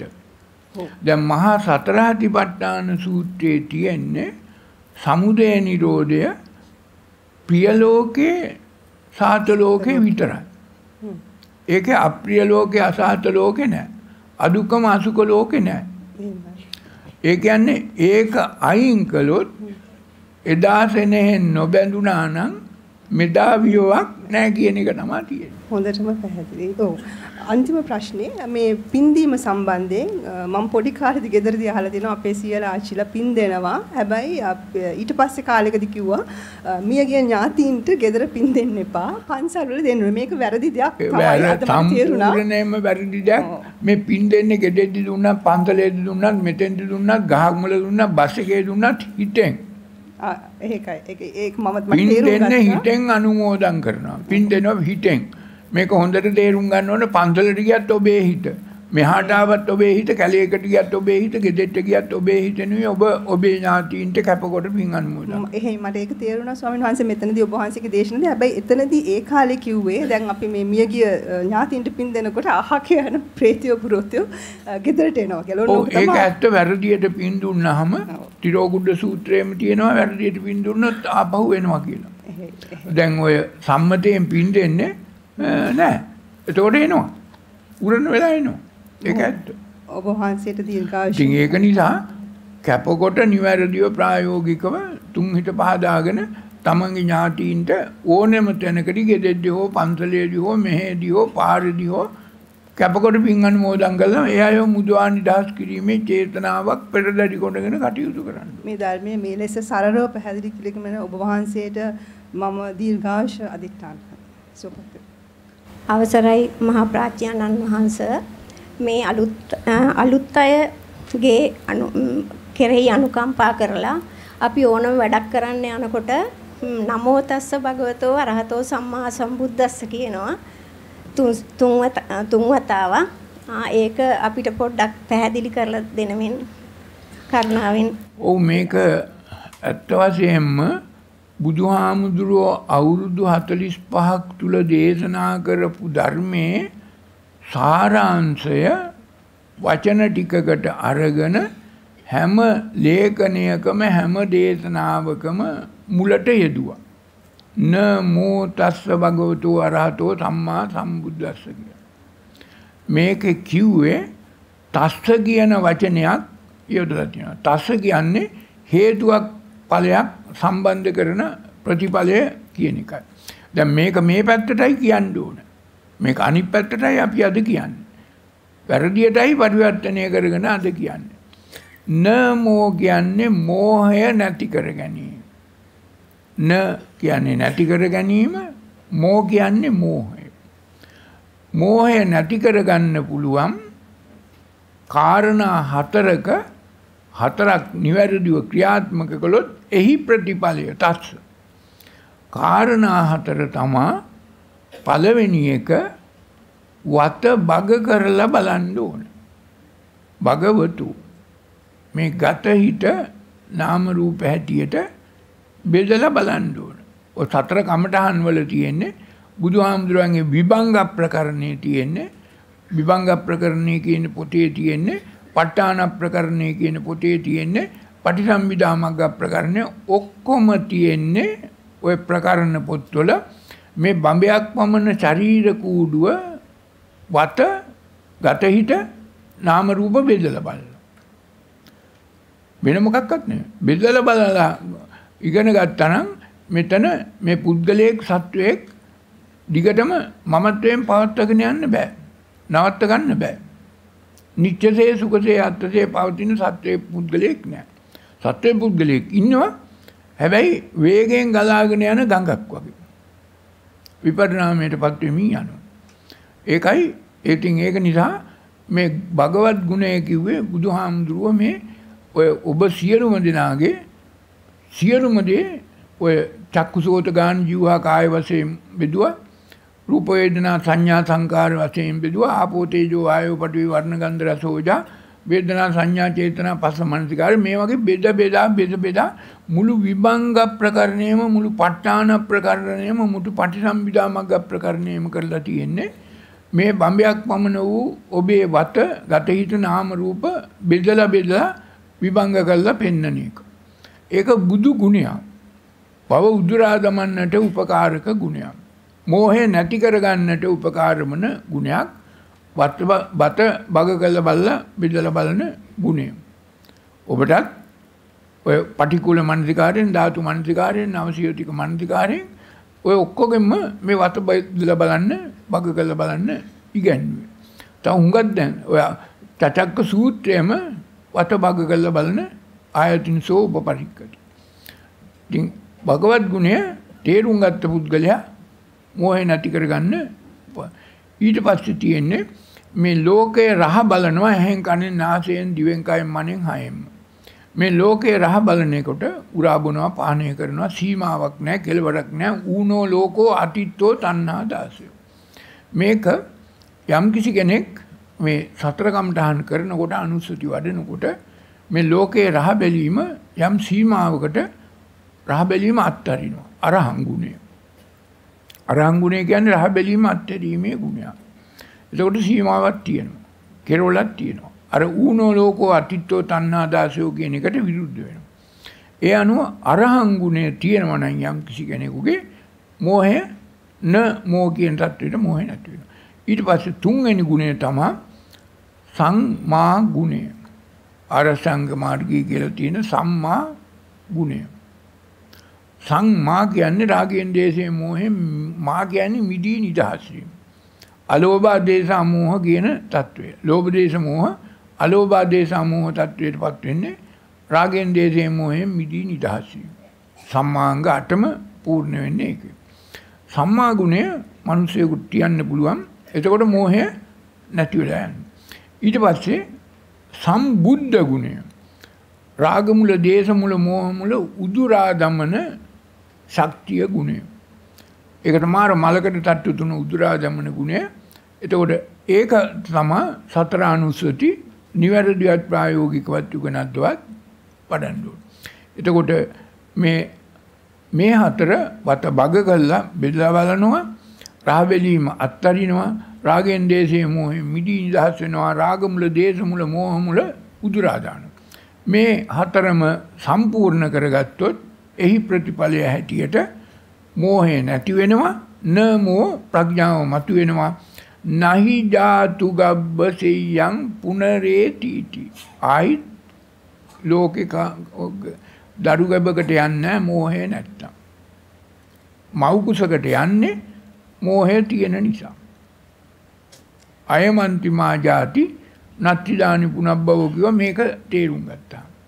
ඉතින් ඒක නිසා මේකේ තියෙන්නේ මේ න මෝ තස්ස භගවතු වරහතෝ සම්මා සම්බුද්දස්ස හරියට තේරුම් ගත්තොත් මේ බුදුහාමුදුරුව මෝහය නැති කළා ප්‍රඥාව මතු කරන්න කියපු ගාථා.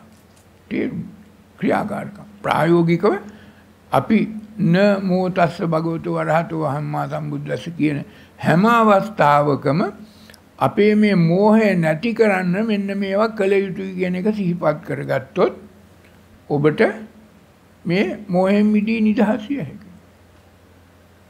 දැන් ඒ අරහත් වූ සම්මා සම්බුදුරජාණන් වහන්සේට මගේ නමස්කාරය වේවා කියලා වැන්දට මෝහය නැති වෙන්නේ නැහැ. නිවන් දකින්නේ නැහැ. දුකෙන් මිදෙන්නේ නැහැ. උපාදානයෙන් මිදෙන්නේ නැහැ. වත බග කරලා බලන්න බෑ. ඒකයි තේරුම. අරඤ්‍යගතෝවා රුක්කමූලගතෝවා ශුඤ්ඤාගාරගතෝවා කියන ඒවා ඉතින් මං කිව්වනේ කිව්වනේ අරඤ්‍යගතෝවා කියන්නේ රණබිමෙන් ඉවත් වීම හිත ආරක්ෂා කර ගැනීම. රුක්කමූලගතෝවා රාගෙන් දේශයෙන් මොහෙන් ශුඤ්ඤ භවෙන් ශුඤ්ඤ භව හිතෙන් ශුඤ්ඤ භවටපත් කර ගැනීම ශුඤ්ඤාගාරගතෝවා ඒ වගේම නිහතමානීව ඉවසල විමසලා කරුණු පහළ මාංකයෙන් මේ කටයුතු කිරීම නිසිදති පල්ලංකං ආභුජිත්වා පරිමුකන් සතෙන් උපට්ට පෙත්වා ඇහැට කණ්ඩ නාසයට හය මුකයට අරමුණු වෙන්නේ ආශ්‍රය කළ යුතුද? සෝ අසෝ සත්‍ය සති?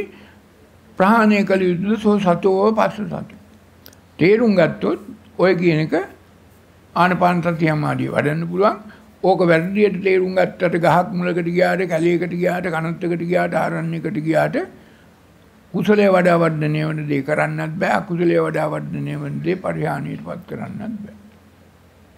වහන්සේට නිදුක් නිරෝගී සුවපත් භාවය ලැබේ. අරහතුන් වහන්සේ අවසරයි. අපි ඊයේ යෝනිසෝ මනසිකාරය ගැන කතා කරා. වර්තමාන මොහොත ගැන අපි ගොඩක් කතා කරා. එතකොට ගිහියෝ වශයෙන් අපිට මේ අනාගතය ගැන පොඩි ප්ලෑන් එකක් තියෙනවා නේද? හැම තිස්සෙම ඒ කියන්නේ අපි ඉගෙන ගන්න ඕනේ රස්සා කරන ගේවල් හදන්න ඕනේ. මේක රෝධ කරන්නේ නැතුව කොහොමද අපි මේ ප්ලෑන් එක හදාගන්නේ? දැන් බුදුහාමුදුරුවොත් කිව්වා දැන් මේක හොඳට තේරුම් ගන්න ඕන නරක වැඩකට අනාගතයේ උපක්‍රම සම්‍යක් ප්‍රයෝග යොදන එකයි වැරද. Tamanටත් යහපතක් වෙන අනුන්ටත් යහපතක් වෙන දෙයක් කෙරෙහි අනාගතයේ හෙට අනිද්දා ලබන සතියේ කටයුතු කරන එක හරි. දැන් වැරදි මොකද්ද? Tamanට හෝ අනුන්ට හෝ අයහපතක් වෙන දෙයක් අද ප්ලෑන් කළා හෙට ක්‍රියාත්මක කිරීමෙන් වළකින්න ඕනේ. Tamanට අජ්ජත්තංවා බහිද්ධාවා. කාය කායනුපස්සී විහෙරති. තමන්ගේ හිත පිරිසිදු කරගන්න එකත් අනුන්ගේ හිත පිරිසිදු කරගන්න එකත් ප්ලෑන් කළා දිගටම කරන්න පුළුවන්. නරක වැඩේට ප්ලෑන් කරන එකයි බුදුහාමුදුරුව නවත්තන්න කිව්වේ. ඉමේ ධම්මා අකුසලානං නවත්තන්න කිව්වා. ඉමේ ධම්මා කුසලානං දිගටම කරගෙන යන්න. ඉතින් ඒක නිසා බුදුහාමුදුරුව කිව්වේ මේ ප්ලෑන් කරන එක නවත්තන්න නෙමේ මේ අකුසලය පාපය උපකාර වෙන තමන්ට කර්මය උරුම වන තමන්ට පටිසන්දෙන දේවල් තමන්ට අයහපතක් වන දේවල් පෙන්නලා දීලා එන්නේ ඒවා ඉදිරියට කරන එක නවත්තන්න. නැතුව බුදුහාමුදුරුවෝ කොයි වෙලාවකවත් කිව්වේ නැහැ මේ මිනිස්සු අද ඉන්නවා හෙට ඉන්නවා ලබනවුත් ඉන්නවා ජීවත් වෙනවා ඒ කාලේ හොඳ වැඩ යහපත් වැඩ සැලසුම් කරලා කරන්න ඕනේ. අර සැලසුම් කරලා නරක වැඩ කළොත් ඒකේ ඵල විපාකයෙන් නිවන වැහෙනවා අපාය යන්න වෙනවා කිව්වා. අවසරයි ස්වාමීන් වහන්සේ මරණානුස්සතිය කියන එක සම්මතය කියනවා මේ මැරෙන බව නිතරම සිහි ඔව් කරන්න. දැන් මරණානුස්සතිය කියලා ඔය රූපවාහිනී channel වල හාමුදුරනමක් ඇහිලා කියන්නේ මරණ නියතං ජීවිතං අනියතං කියන වචන ටික කියන්නේ කියලා. නමුත් බුද්ධ දේශනාවේ තියෙන්නේ නිච්ච සුඛාත්ත මරා දාන්න අනිත්‍යං දුක්ඛං විපරිණාම ධම්ම මෙනෙහි කරන්න. දැන් මේ ගිරිමානන්ද සූත්‍රයේ තියෙනවා. අනිත්‍යානුපස්සී විරාගානුපස්සී නිරෝධානුපස්සී පටිනිස්සගානුපස්සී කරන්න නිත්‍ය සුඛාත්ත මරා දාන්න. නිත්‍ය සුඛාත්ත තියෙන තාක්කල් තණ්හාවක් උපාදානයක් හිතේ ඇති වෙනවා. මේ තණ්හාවට උපාදානයට සියලු දුකට හේතුව යම් කිසි කෙනෙක් යමක් නිත්‍යසේ සුඛසේ අත්‍යසේ ගත්තොත් මුළු පංචස්කන්ධයම ඇහැට කනට නාසයට දිවට කයට මනට අරමුණු වෙන සියලු දේ මිනිසු පු탁 යන පුද්ගලයෝ ප්‍රියනම් නිත්‍යසේ සුඛසේ අත්‍යසේ ගන්නවා දුකට බැඳෙනවා. උපාදානය කරගන්නවා. ඉතින් ඒක නිසා මේ නිත්‍ය සුඛාත්ත මරා දැමීම තමා නිවන. එහෙමයි. ඔබ වහන්සේට නිදුක් නිරෝගී දීර්ඝාෂ ප්‍රාර්ථනා කරනවා. ගෞරවනීය අරහතුන් වහන්ස ඊයේ අපි අර ත්‍රිපිටක පුස්තක පරිශීලනය කිරීමේදී දැක්කා අර ස්වස්ති සිද්ධම් කියලා ඒකේ පොඩි මේ මේ ලාංඡනයක් තිබුණා. ඉතින් ඒක ඒ පැරණි අපේ මේ ගම්බලත් නිවාසවල එහෙම අපි දැකලා තිබෙනවා. ඒ අනුව ඒ කියන්නේ මම හිතන්නේ ත්‍රිපිටකය සම්බන්ධවද ඒ සිම්බල් එක එහෙම ඒක ඉතින් කවුරු හරි පස්සේ කාලෙක දෙවන වරට හෝ තුන්වෙනි වරට ත්‍රිපිටකේ ලියනකොට ඒක ඒ වගේ දේවල් ඔය ලේඛන ලියනකොට පොත් ලියනකොට ඒ වගේ එකක් දාලා තියෙනවා. ඒක ඉතින් මේ බුද්ධ දේශනාවට අයිති කොටසක් නෙමෙයි. එහෙමයි. ඒත් එක්කම මේ ගෞරවනීය ස්වාමීන් වහන්සේ අපි දුටුව අර මේ පුස්තක පරිශීලනය කරද්දී එංගලන්තයේ මහත්මයෙක් බොහොම සීරු මාරුවට බොහොම අට පරිස්සමෙන් ඒක මේ කරගෙන යනවා. ඒ කියන්නේ අපගේ ලක්දිව තිබුණු ඒ ලක්බිමේ තිබුණු ඔරිජිනල් පුස්තකයමද ඒ පරිශීලනය කරන්න කියලා ඔබ වහන්සේගෙන් දැනගන්න කැමතියි. එංගල මේ ලංකාවේ ඔය මාතුල අලුලනේ තිබිච්ච ඒ ඔරිජිනල්ම පුස්කොළ පොස්ත තමා මේ ජෝර්ජ් ටර්නර් කියන මහත්තයා බොහොම ආරක්ෂා සහිතව නැවක පටවගෙන එංගලන්තෙට ගෙනිච්චේ දැන් එංගලන්තේ කෞතුකාගාරය තියෙන්නේ ඒ මාතුලාලුලනේ තිබිච්ච ඒ ඔරිජිනල් පුස්තකේ. ඒක දැන් බොහොම හොඳට ලැමිනේට් කළා කළු මැදලා හොඳට සංරක්ෂණය කළා ආරක්ෂා සහිතව අර පුස්කොලේ දිරන්නේ නැති විදිහට පවත්වාගෙන යනවා. ඒකෙන් ගත්ත පිටපතක් මයික්‍රොෆිල්ම් එකක් තමයි අපි ගාව තියෙන්නේ. හොඳමයි අවබෝධයක් ලබාගත්ත ගෞරවනීය මේ ස්වාමින් වහන්සේ ඔබතුමා ඔබ වහන්සේට දීර්ඝායුෂ මොදක් කරනවා.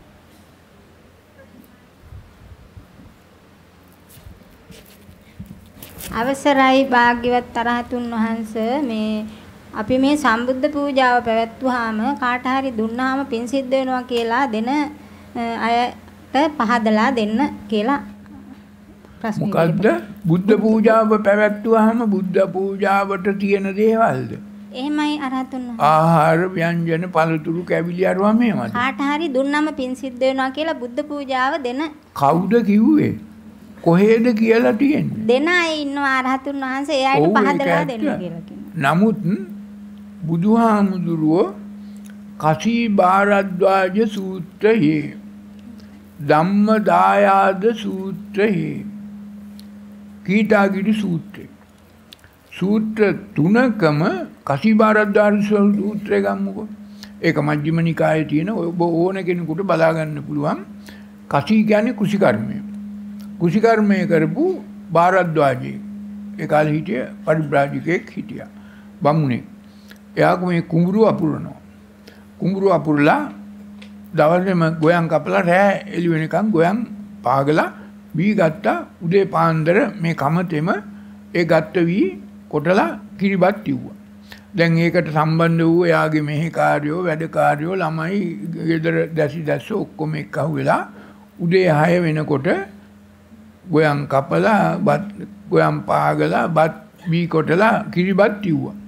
කිරිබත් වෙලා ඒ සියලු දෙනාට පූජා කරනවා අර ඒ දේව පූජාව කරනවා. එහෙම කරනකොට බුදුහාමුදුරුවෝ දැක්ක මේ කසී භාරද්වාජ බ්‍රාහ්මණයාගේ තියෙන යම් පුණ්‍ය ශක්තිය දැකලා බුදුහාමුදුරුවෝ පාන්දරම මේ බමුණා කිරිබත් වෙන තැනට කිරිබත් බෙදෙන තැනට කිරිබත් කනවා දැන් මෙතෙන්ට ආවා. ඇවිල්ලා බුදුහාමුදුරුවෝ පාත්‍රය තියාගෙන මේ බමුණ ගාව හිටියා. බමුණ බමුණ බුදුහාමුදුරන්ට විරුද්ධ කෙනෙක්. බමුණු ඒ කාලේ. බමුණක් බණින්න පටන් ගත්ත බුදුහාම උඹ කුඹුරු අපුරන්නෙත් නැහැ, හාන්නෙත් නැහැ. උඹ මොනවත් කරන්නෙත් නැහැ. උඹ මේ අනුන්ගේ අනුන් අපුරෝ කුඹුරු වලින් කන්නේනෝ. උඹට කියලා බැනගෙන බැනගෙන බැනගෙන ගියා. බුදුහාමුදුරුවෝ බොහෝම සිනහ මුහුණෙන් ආගෙන හිටියා. ආගෙන හිටලා බමුණට බණක් කිව්වා. හොඳ උපමාවකුත් ඇතුව කසී භාරද්වාජ සූත්‍රයේ තියෙනවා. උඹගේ ගෙදෙට්ට නෑදෑයෙක් ආවහම උඹ යුව බත එයා කෑවේ නැත්නම් උඹ ඒවා වීසි කරනවද නැහැ කියලා මෙහෙම හොඳ උපමාවකුත් කියලා බොහොම කෙටි බණක් කිව්වා. බුදුහාමුදුරුවෝ. කෙටි බණක් කිව්වහම මේ බමුණට තේරුණා මේ කරපු වැඩේ වැරදි කියලා. ඒ ගමන බමුණ කරපු වැඩේ දැන් අර කිරිබත් තව තියෙනවා බුදුහාමුදුරන්ට පූජා කළා. බුදුහාමුදුරන්ගේ පාත්‍රයට පූජා කළා. බුදුහාමුදුරුවෝ කිව්වා මං බාරගත්තා පින් දුන්නා. හැබැයි මම උඹට මේ දැන් බණ කියලා ඒකට පගාවක් හැටියටයි මේක දුන්නේ. ඒක නිසා මම මේක බාර ගන්න නමුත් මේක බුදුහාමුදුරන්ට පූජා කරපු දේ ඊට පස්සේ මේ කසී බාරද්වාජ සූත්‍රයේ තියෙනවා. පැහැදිලිවම බුදුහාමුදුරන්ට පූජා කරපු දෙයක් නැවත තව කාටවත් පවරන්න හොඳ නැහැ. ඒක නිසා මේ කිරිබත් ටික ගැඹුරු දියකට දාන්න එක්ක පොළොව යට වල්ලන්නේ කියලා කෙලින්ම කියලා තියෙනවා. මහා බ්‍රහ්මායි සූත්‍රයේත් ওই කතාව තියෙනවා. ධම්මදායද සූත්‍රයේත් තියෙනවා. බුදුහාමුදුරන්ට පූජා කරපු දෙයක් තවත් කෙනෙකුට අඬ ගහලා පවරලා දෙන්න හොඳ නැහැ. ඒක ලොකු ආර්යෝපපාදයක්. ඉතින් ඒක නිසා බුදුහාමුදුරන්ට පූජා කරපු කිසිම දෙයක් ඊට පහත් කෙනෙකුට කීයටවත්ම අඬ ගහලා බල්ලෙකුට ජුජ්ජුක් කියලා කාක්කෙකුට කුරුල්ලෙකුට කියලා කියලා හිඟන්නෙකුට අඬ ගහලා පොඩි ළමයෙකුට අඬ ගහලා එහෙම දෙන එක බුදුහාමුදුරන්ට කරන ලොකු අපහාසයක් ආර්යෝපවාදයක් කියන එක සූත්‍ර ගණනාවකම බුදුහාමුදුරුවම කියලා තියෙනවා.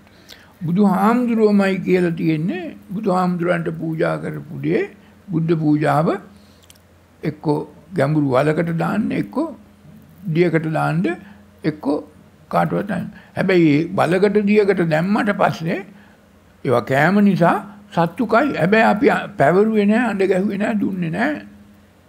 අනුදැනව දාලා නැහැ අපි පාපයක් කරගෙන.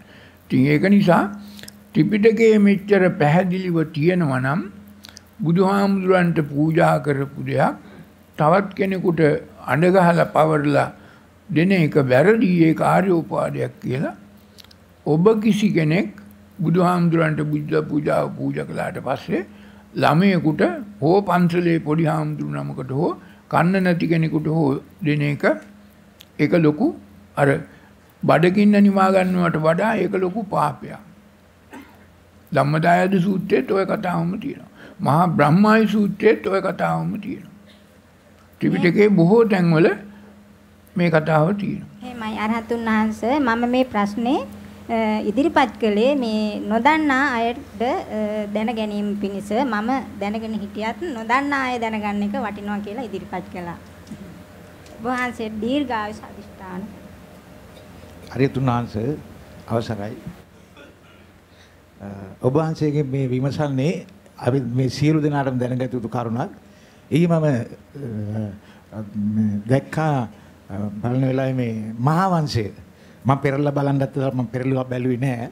අ, මහා වංශයේ මා ළඟ තියෙනවා පොත් දෙකකින් අ, පිටු 600කට 600කට විතර ආසන්න ඒකේ උඩම තියෙන්නේ පළවෙනිම විකෘතිය. මොකද විජය රජුගේ කිස්තු පූර්ව ඇවිල්ලා තියෙන්නේ මහා වංශයේ පොතේ ලියලා තියෙන විදිහට මම මහා මෙවුනාවෙන් ගත්තේ පොත්. අපෝ මහමෙවුනාවෙන් ගත්ත මේ මහවන්තයන් නම් සම්පූර්ණ විකෘතියක්ම තමයි. ඔබ වහන්සේ මේ ඒ පොත මම ඉස්සෙල්ලා බැලුවා කොච්චර කල්ද ලියලා කියලා. අවුරුදු 10යි. අවුරුදු 1000කට ඉස්සෙල්ලා තමයි ලියලා තියෙන්නේ. එතකොට අවුරුදු 2500කට ඉස්සෙල්ලානේ මේ සිද්ධිය වෙලා තියෙන්නේ. මේ ඇයිලා මං කියන්නේ සුප්පා දේවිගේ කතාව. එතකොට විජය කුමාරයාත් ඒ ඒ ඒ කතාවෙම ඉන්නේ. ඉතින් අරියතුන් වහන්සේ මන්- කතාවක්. තියෙන්නේ මුල් හෙළ මහා වංශයේ නෙමෙයි. දැන් මේ ඉස්සෙල්ලම මේ මහා වංශය සිංහල මහා වංශයක් හෙළ මහා වංශයේ සිංහල අකුරෙන් සිංහල භාෂාවෙන් ලිව්වා. ඊට පස්සේ මේ බුද්ධඝෝෂ හාමුදුරුවෝ ආවා වලගම්බාහු රජුරුවන්ගේ කාලේ බුද්ධ වර්ෂ බුදුහාමුදුරුවොත් පිරිනිවන් පාලා අවුරුදු 450 ගානකට පස්සේ බුද්ධඝෝෂ හාමුදුරුවොත් එක්ක තවත් ආව ධම්මපාල කියලා බුද්ධදත්ත කියලා තවත් දෙන්නේ. ඒගොල්ලෝ මේ රටේ තිබුණු වංශ කතා විශේෂයෙන් මහා වංශයයි දීපවංශයයි දෙකම පාලියට පරිවර්තනය කළා. මෙන්න මේ පාලියට පරිවර්තනය කරනකොට තමා පාලි භාෂාවට පරිවර්තනය කරපු ත්‍රිපිටකයේ තමා ඔය යම් යම් කරුණු අර ඉන්දියාවෙන් ආපු විජය රජ ඔය සිංහබාහු සිංහදීර ඕන ඔය කතාවල් ඔක්කොම එතෙන්ට ඇතුල් කරලා තියෙනවා. නමුත් අර මුල් හෙළමන්සේ හෙළ මහාවංශය අර මහා විහාරයේ පුච්චනකොට පිච්චිලා ගිහිල්ලා ඒකේ ඕවා තිබුණයි කියලා කොහෙවත් නැහැ. ඉතින් ඒක නිසා ඔය පාලියට අර බුද්ධඝෝෂ හාමුදුරුවොත් පරිවර්තනය කළානේ මේ පොත්පත් ඒ වගේ මහා වංශයයි දීපවංශයත් පාලියට පරිවර්තනය කළා බුදුහාමුදුරුවෝ පිරිනිවන් පාලා අවුරුදු 915කට විතර පස්සේ. ඒ කාලේ ඒ වැරදියට ලියපු මහා වංශය තමයි අද ඔය අපිට ඉතුරු වෙලා තියෙන්නේ pāli භාෂාවෙන් ලියලා. ඒකේ තියෙන දේවල් බොහොම පිරිසිදුව ගත්තොත් මහා වංශය කියන්නේ මේ හෙළ ඉතිහාසය. හෙළ ඉතිහාසය. ලංකාවේ ඉතිහාසය ඉන්දියාවේ ඉතිහාසය පොඩ්ඩක්වත් නැහැ. මහා වංශයේ ඔය අපි ඊයේ ඔබට පෙන්නුව මුල් මහා වංශයේ පළවෙනි දෙවෙනි තුන්වෙනි පරිච්ඡේද තුනේම තියෙන්නේ මේ සුද්ධෝදන රජුරුවන්ගේ පරම්පරාව අර ඔක්කාක රජුරුවන්ගේ ඉඳන් ආපු එක. ඒ වගේම මේ සිදුවත් කුමාරයාගේ ඉතිහාසය බුදු වෙනකම්. ඕවා ඉන්දියාවේ වුණා නම් මහවංශ ලියන්නේ මොකටද? ඈ? එතකොට දැන් ඔය සුද්ධ තමා මේක ඉන්දියාවට පැවරුවේ. නමුත් මහා වංශේ තියෙන්නේ ඔක්කාක රජුරුව මහා සම්මත රජුරුව සුද්ධෝදන රජුරුව ඒ පරම්පරාව ඔක්කොම සිදුවත් කුමාරයාට එනකම් මේ හෙළබිමේ උපන් රජලඩු රජකල රජලඩු. ඒව තමයි ඔක්කොම මහා වංශේ තියෙන්නේ. හරි තුනන්ස ඒක සමහර අය සමහර මේ ඉතිහාසය කියවල නැතුව ඇති මේ මහාවංශය කියවනකොට ඒකේ මහා විකෘතියක් එතනම පේනවා ඔය විකෘතියක් කළේ අර පාලි භාෂාවට පරිවර්තනය කළා ඊට පස්සේ පාලි එක සිංහලට ආයි පරිවර්තනය කළා ඔය ගුණපාල සේනාධීරි කියන මහත්තයෙක් ගුණපාල මල්ලසේකර කියන මහත්තයෙක් ඔයගේ තව හුඟක් මිනිස්සු මේ පාලි භාෂාවෙන් තිබිච්ච එක ඒගොල්ලෝ දන්නා පාලියෙන් ඒගොල්ලෝ තේරුම් ගත්ත පාලියෙන් ඉගෙන ගත්ත පාලියෙන් සිංහලට පරිවර්තනය කළා. ඒ පාලි වැරදි. හරි තමයි තව එකක් මේ මෙහෙම කියන්න ලැජ්ජා වෙන්න ඕනේ නැහැ. ඒකේ ලියලා තියෙන එක මම හිතන්නේ මේ මහාවංශයේ ඒ පරණ මහා ඒ ඉන්දියාවෙන් ගෙන මහාවංශ කියවලා තියෙනවා නම් එහෙම. ඒ සුප්පා දේවි අවුරුදු 17ක් සිංහේ දීග කාලා තියෙනවානේ ගල්ලනේ. ඔව් ඉතින් එහෙම වෙන්න බෑනේ. ඒක තමයි. ඒක ඒවනේ විකෘති කියන්නේ. ඒක මේ ඒක මේ සාමාන්‍ය මිනිහෙක් පිළිගන්නේ නැහැනේ කීයටවත් ටිල්සන් එක එක එහෙම හිටියයි කියලා. එහෙනම් මේ අපි සිංහලයෝ මේ සිව්හෙලියෝ. නැතුව සිංහලයේ නිසා නෙමෙයි. අපි සිව්හෙලියෝ හෙළ හතරක් තිබුණා. ජම්බුද්දීපා උතුරු කොරදීපා අපර ගෝයානේ පූර්ව දිහේ කියන හෙළ හතරෙන් ආපු අය සීහෙලිය සිව්හෙලිය. නමුත් ඔය මහාවංශේ සිංහලේ සිංහලේ වලින් ආවා කියලා මේ අපේ සිංහල ජාතිය අර සිංහලේ වලින් ආවා කියලා ඔය සිං මොන සිංහයාද?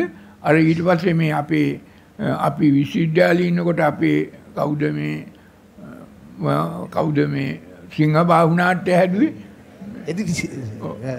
මේ ඒ ඔය ඔය කතාවත් හදලා සිං අපි සිංහලයෝ කියලා මේ ඔප්පු කළා නාට්‍යයක් ගැහුවා. සිංහ බාහු නාට්‍ය හදලා අපේ මේ කවුද? මහාචාර්ය සරච්චන්ද්‍ර දිවීර මහත්තයා. ඒවත් ඔය ඉතිහාසයේ තියෙන වැරදි දේවල්. ඕවට නාට්‍යයක් හැදුවා. ඒ නාට්‍යයෙන් කිව්වේ ප්‍රകൃති සත්‍යෙ නගිනාවේ අර විකෘතිය පොඩ්ඩක් වැළකුණානේ ඒකේ. ඕවා ඔක්කොම විකෘති තමයි. කරලා තියෙන ඔක්කොම විකෘති විකෘතිම තමයි නාට්‍ය ස්වරූපේනුත් ඔය ඔය ළමයින්ගේ ඉස්කෝලේ යන අයට විශ්වවිද්‍යාලේ ඉන්න තරුණ පිරිසට මේ වැරදි අදහස් ඔක්කොම දාන්න ඔයගේ දේවල් කරලා තියෙනවා.